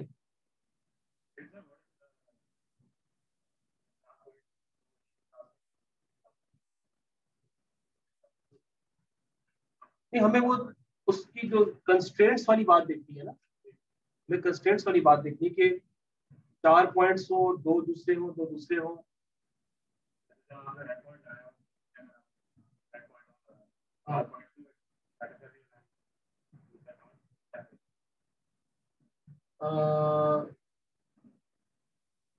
लेकिन हमने दूसरा सिनेरियो भी तो देखा है ना।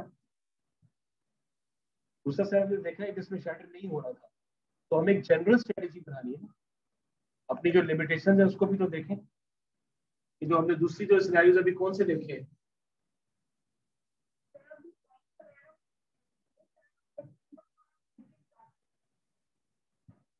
तीनों डिफरेंट क्लासेस के हो तो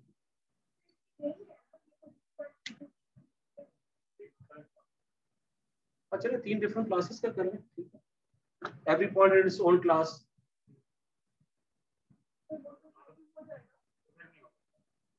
ये ये तो फिर हाँ वही वाली बात होगी ना कि तीन, ठीक है तो लाइन हाइपोथेसिस तीन क्लास लेबल्स को शैटर करने के लिए मैक्सिमम तीन क्लास लेबल को शैटर कर सकता है। लाइन हाइपोथेसिस की जो स्पेस होगी, वो मैक्सिमम तीन क्लास लेवल्स को शैटर कर सकती है। ये हो गई ना?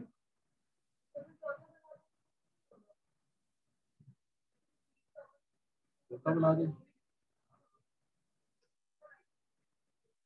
दें करके देख लेते हैं। मैं आपको बता रहा हूँ ना कि बाइनरी प्रॉब्लम को सॉल्व करने का तरीका वो यही है कि जिस तरह मैंने आपको बताया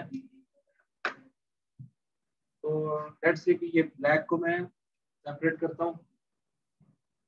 ये खैर मेरा अपना है। रेड को मैं कैसे करूँगा ये?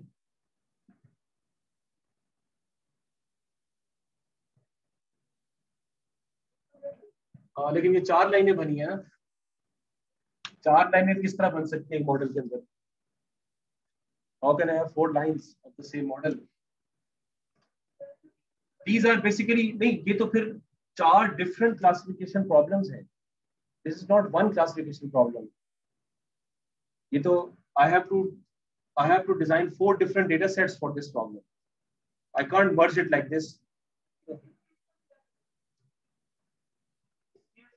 जो हमने इनिशियल लिया था वो तो हम देख रहे हैं तो हमने इनिशियल थिंकिंग की थी कि अगर हम इसको बाइनरी ले तो हम उस तरीके से इसको मर्ज कर सकते हैं।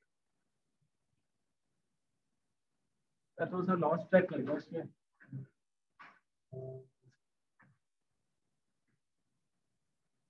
सोचें, आप ही सोचें यार। आप लोगों का भी हक है। The large the largest number of data points in a data set that a configuration algorithm or specific fit model can shatter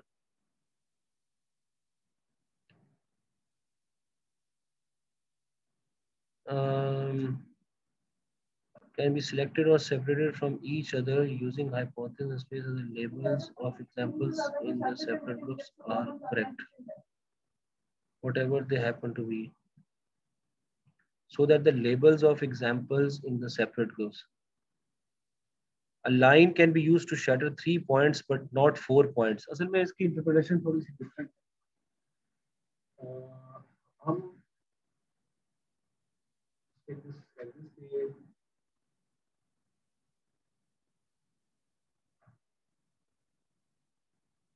मकसद हमारा बीसी डायमेंशन का क्या है बीसी डायमेंशन हमारा मकसद क्या है what do we want to achieve VC dimension में हम अचीव क्या करना चाह रहे हैं? नहीं। Quantify quantify the complexity number of examples that can be discriminated by the hypothesis. कितने एग्जाम्पल्स को मैं मैक्सिमम कितने एग्जाम्पल्स को मैं डिस्क्रिमिनेट कर सकता हूँ? ठीक है लेट्स टेक एन एग्ज़ाम तो मिनिमम लेवल के ऊपर लेट्स से मेरे पास अभी दो क्लासेस हैं। मैक्सिमम मैं कितने एग्जाम्पल्स को डिस्क्राइब कर सकता दो क्लासेस हैं तो लेट्स से कि इन दोनों का एक पॉइंट यहाँ पर है और एक पॉइंट यहाँ पर ठीक है? और ये रेड पॉइंट यहाँ पर तो दो क्लासेस के ऊपर मैं लाइन यहाँ पर इस्तेमाल कर सकता हूँ, जिसको डिस्क्रिमिनेट करे।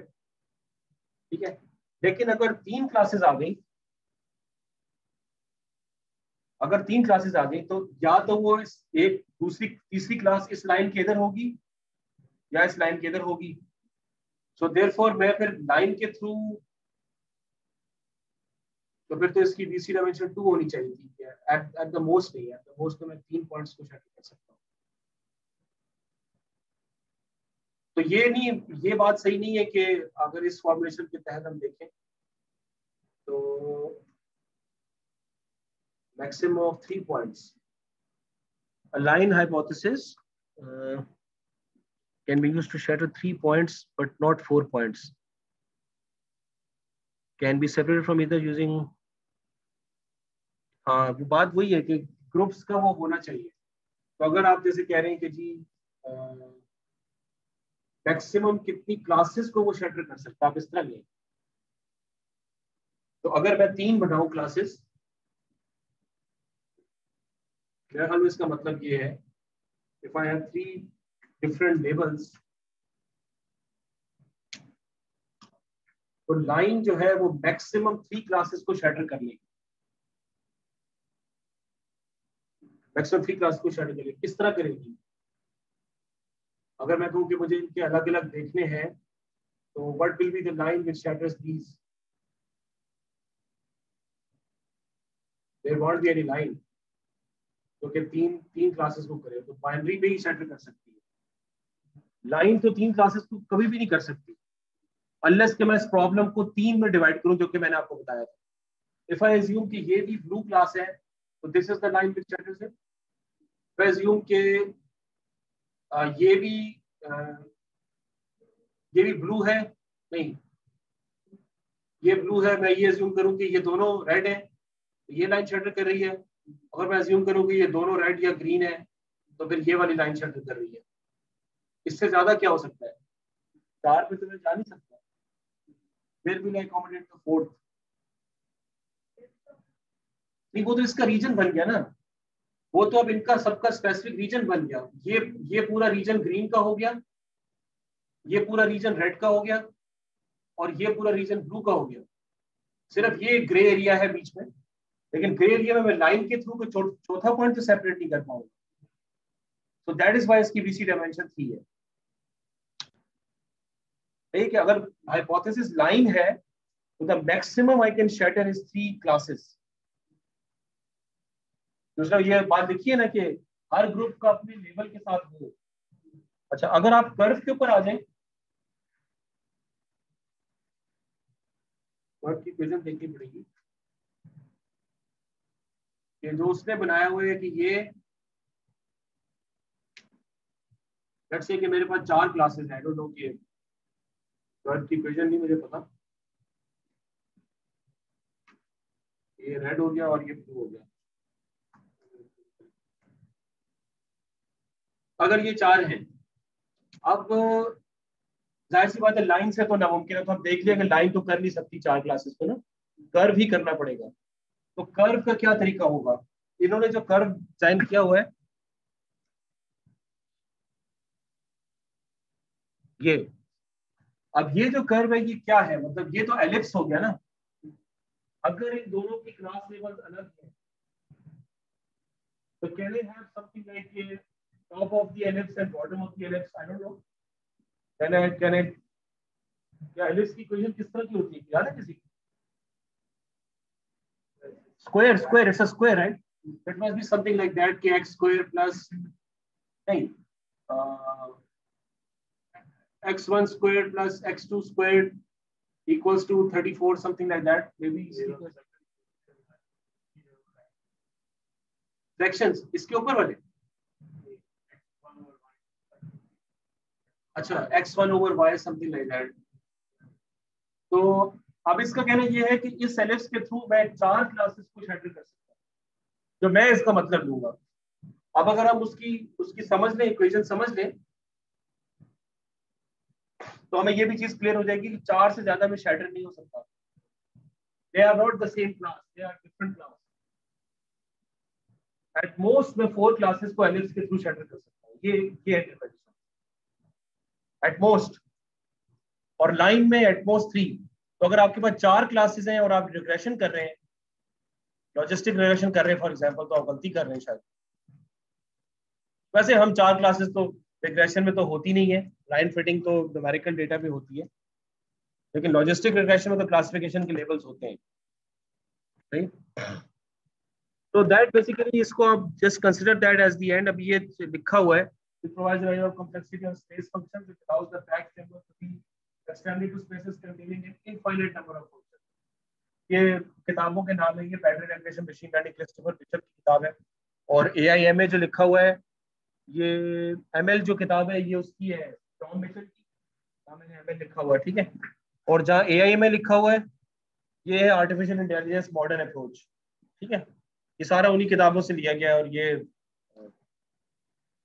ये जी तो आज हमारा सारा बेसिक थ्योरी जो है वो कवर हो गई है अलहमदिल्ला तो आपको जीएलएम्स का पता चल गया न्यूरल नेटवर्क की हिस्ट्री पता चल गई ए विंटर्स का पता चल गया बैक प्रोपोगेशन देख लिया और पैक देख लिया हमने थोड़ा सा कि पैक का क्या मतलब है एरर फ़ंक्शंस के थ्रू सारी मशीन लर्निंग करना और हमने फिर वीसी डायमेंशन भी देख ली। खासतौर पर ये चीज़ आपको आनी चाहिए एग्ज़ाम के अतबार से कि इसका एग्जाम्पल्स मैं दे दूँगा आपको प्रैक्टिस के लिए ताकि हमें चीज़ें क्लियर हो जाए। ठीक है? तो जी ऑनलाइन जो बच्चे बैठे हैं, उनका क्या हालात चल रहे हैं भाई?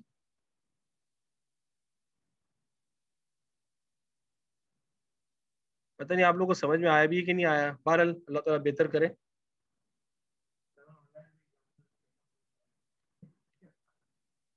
आज मैं मैं ढूंढता हूँ जाके जरा अच्छे इंटरेक्टिव एग्ज़ाम्पल हो ठीक है? तो अभी फिर आप इसको रिवीजन करें। नेक्स्ट वीक में हम इस तरह क्विज ले लेंगे क्लास के शुरू में। ठीक है? क्योंकि इसके एक्सेस हाँ? जी। इसलिए इस पूरे लेक्चर का ये थ्योरी हमारी काफ़ी हद तक खत्म हो गई। एक चीज़ हमने पढ़नी है मैक्सिमम लाइक्लीहुड एस्टिमेशन वो बहुत ज़रूरी है। लेकिन वो भी कंसेप्चुअली मैथमेटिकल है, वो आपको खुद कोई कोड नहीं लिखना उसका। कॉन्सेप्ट पता होना चाहिए।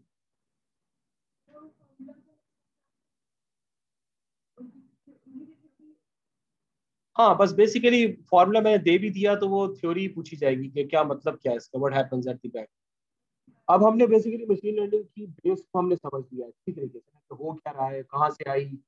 शुरू कब हुई क्या क्या चीज़ें करनी होती हैं डिस्ट्रीब्यूशन क्या होती हैं, क्यों ज़रूरी है?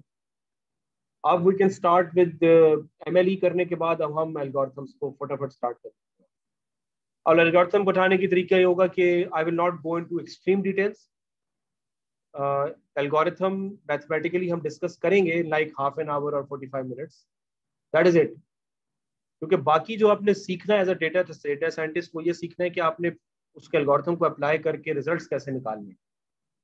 तो वो सारी पैथ लर्निंग आपको करनी पड़ेगी। ओवरफिटिंग अवॉइड करें कॉस्ट फ़ंक्शन ऑप्टिमाइज करना है पैरामीटर ट्यूनिंग आपके हाथ में जो चीज़ है, वो आपने उसके साथ खेलना है। फिर बायस वेरियंस ट्रेड ऑफ़ जो है ना, वो आपकी एजम्पशन से इफ़ेक्ट होता है। ये यकीनी मैं आपको बात बताता हूँ, क्योंकि आप जो फीचर सेलेक्ट करते हैं प्रिडिक्टर्स वो आपकी अपनी जम्पन होती है कि ये रख लो, ये ना रखो। कुछ चीज़ें आप कंप्यूट भी करवाते हैं। जैसे रैंडम फॉरेस्ट के थ्रू आप निकलवा सकते हैं कि बेस्ट फीचर्स कौन से हैं। आप करें लेकिन ज़रूरी नहीं कि आप उसकी सौ फ़ीसद बात माने। कुछ चीज़ें आपको अपने नॉलेज पे डालनी वो आपका बायस होगा वो। तो बायस मैंने कितना करना है डेटा को, वो आपको कंट्रोल करना पड़ेगा। वरना वही ओवर फिटिंग और वो सारी कहानी जनरलाइजेशन एरर खराब हो जाएगी। तो अब ये थ्योरी जब सामने रख के पढ़ेंगे ना, फिर आपको मशीन लर्निंग करने की मज़ा आएगा। कि मैं, मुझे पता है मेरा मॉडल उधर जाना है टेस्टिंग में, और ट्रेड ऑफ़ मैंने अगर अभी ना किया तो बस फिर गए। ट्रेनिंग डेटा पे आपने बड़ा एक फ्लावरी किस्म का आउटपुट दिखा दिया नाइन्टी वन परसेंट जनरलाइजेशन को आपने सोचा भी नहीं। तो दैट विल नॉट वर्क ठीक है? चलिए सही है, फिर इसको हम कर लेते हैं चलो नेक्स्ट वीक से आप अपने क्लास पे लैपटॉप्स वगैरह ले आए, ताकि मैं कोड दूँ तो उसी वक्त आप एल्गोरिथम चला के देख लें। ठीक है?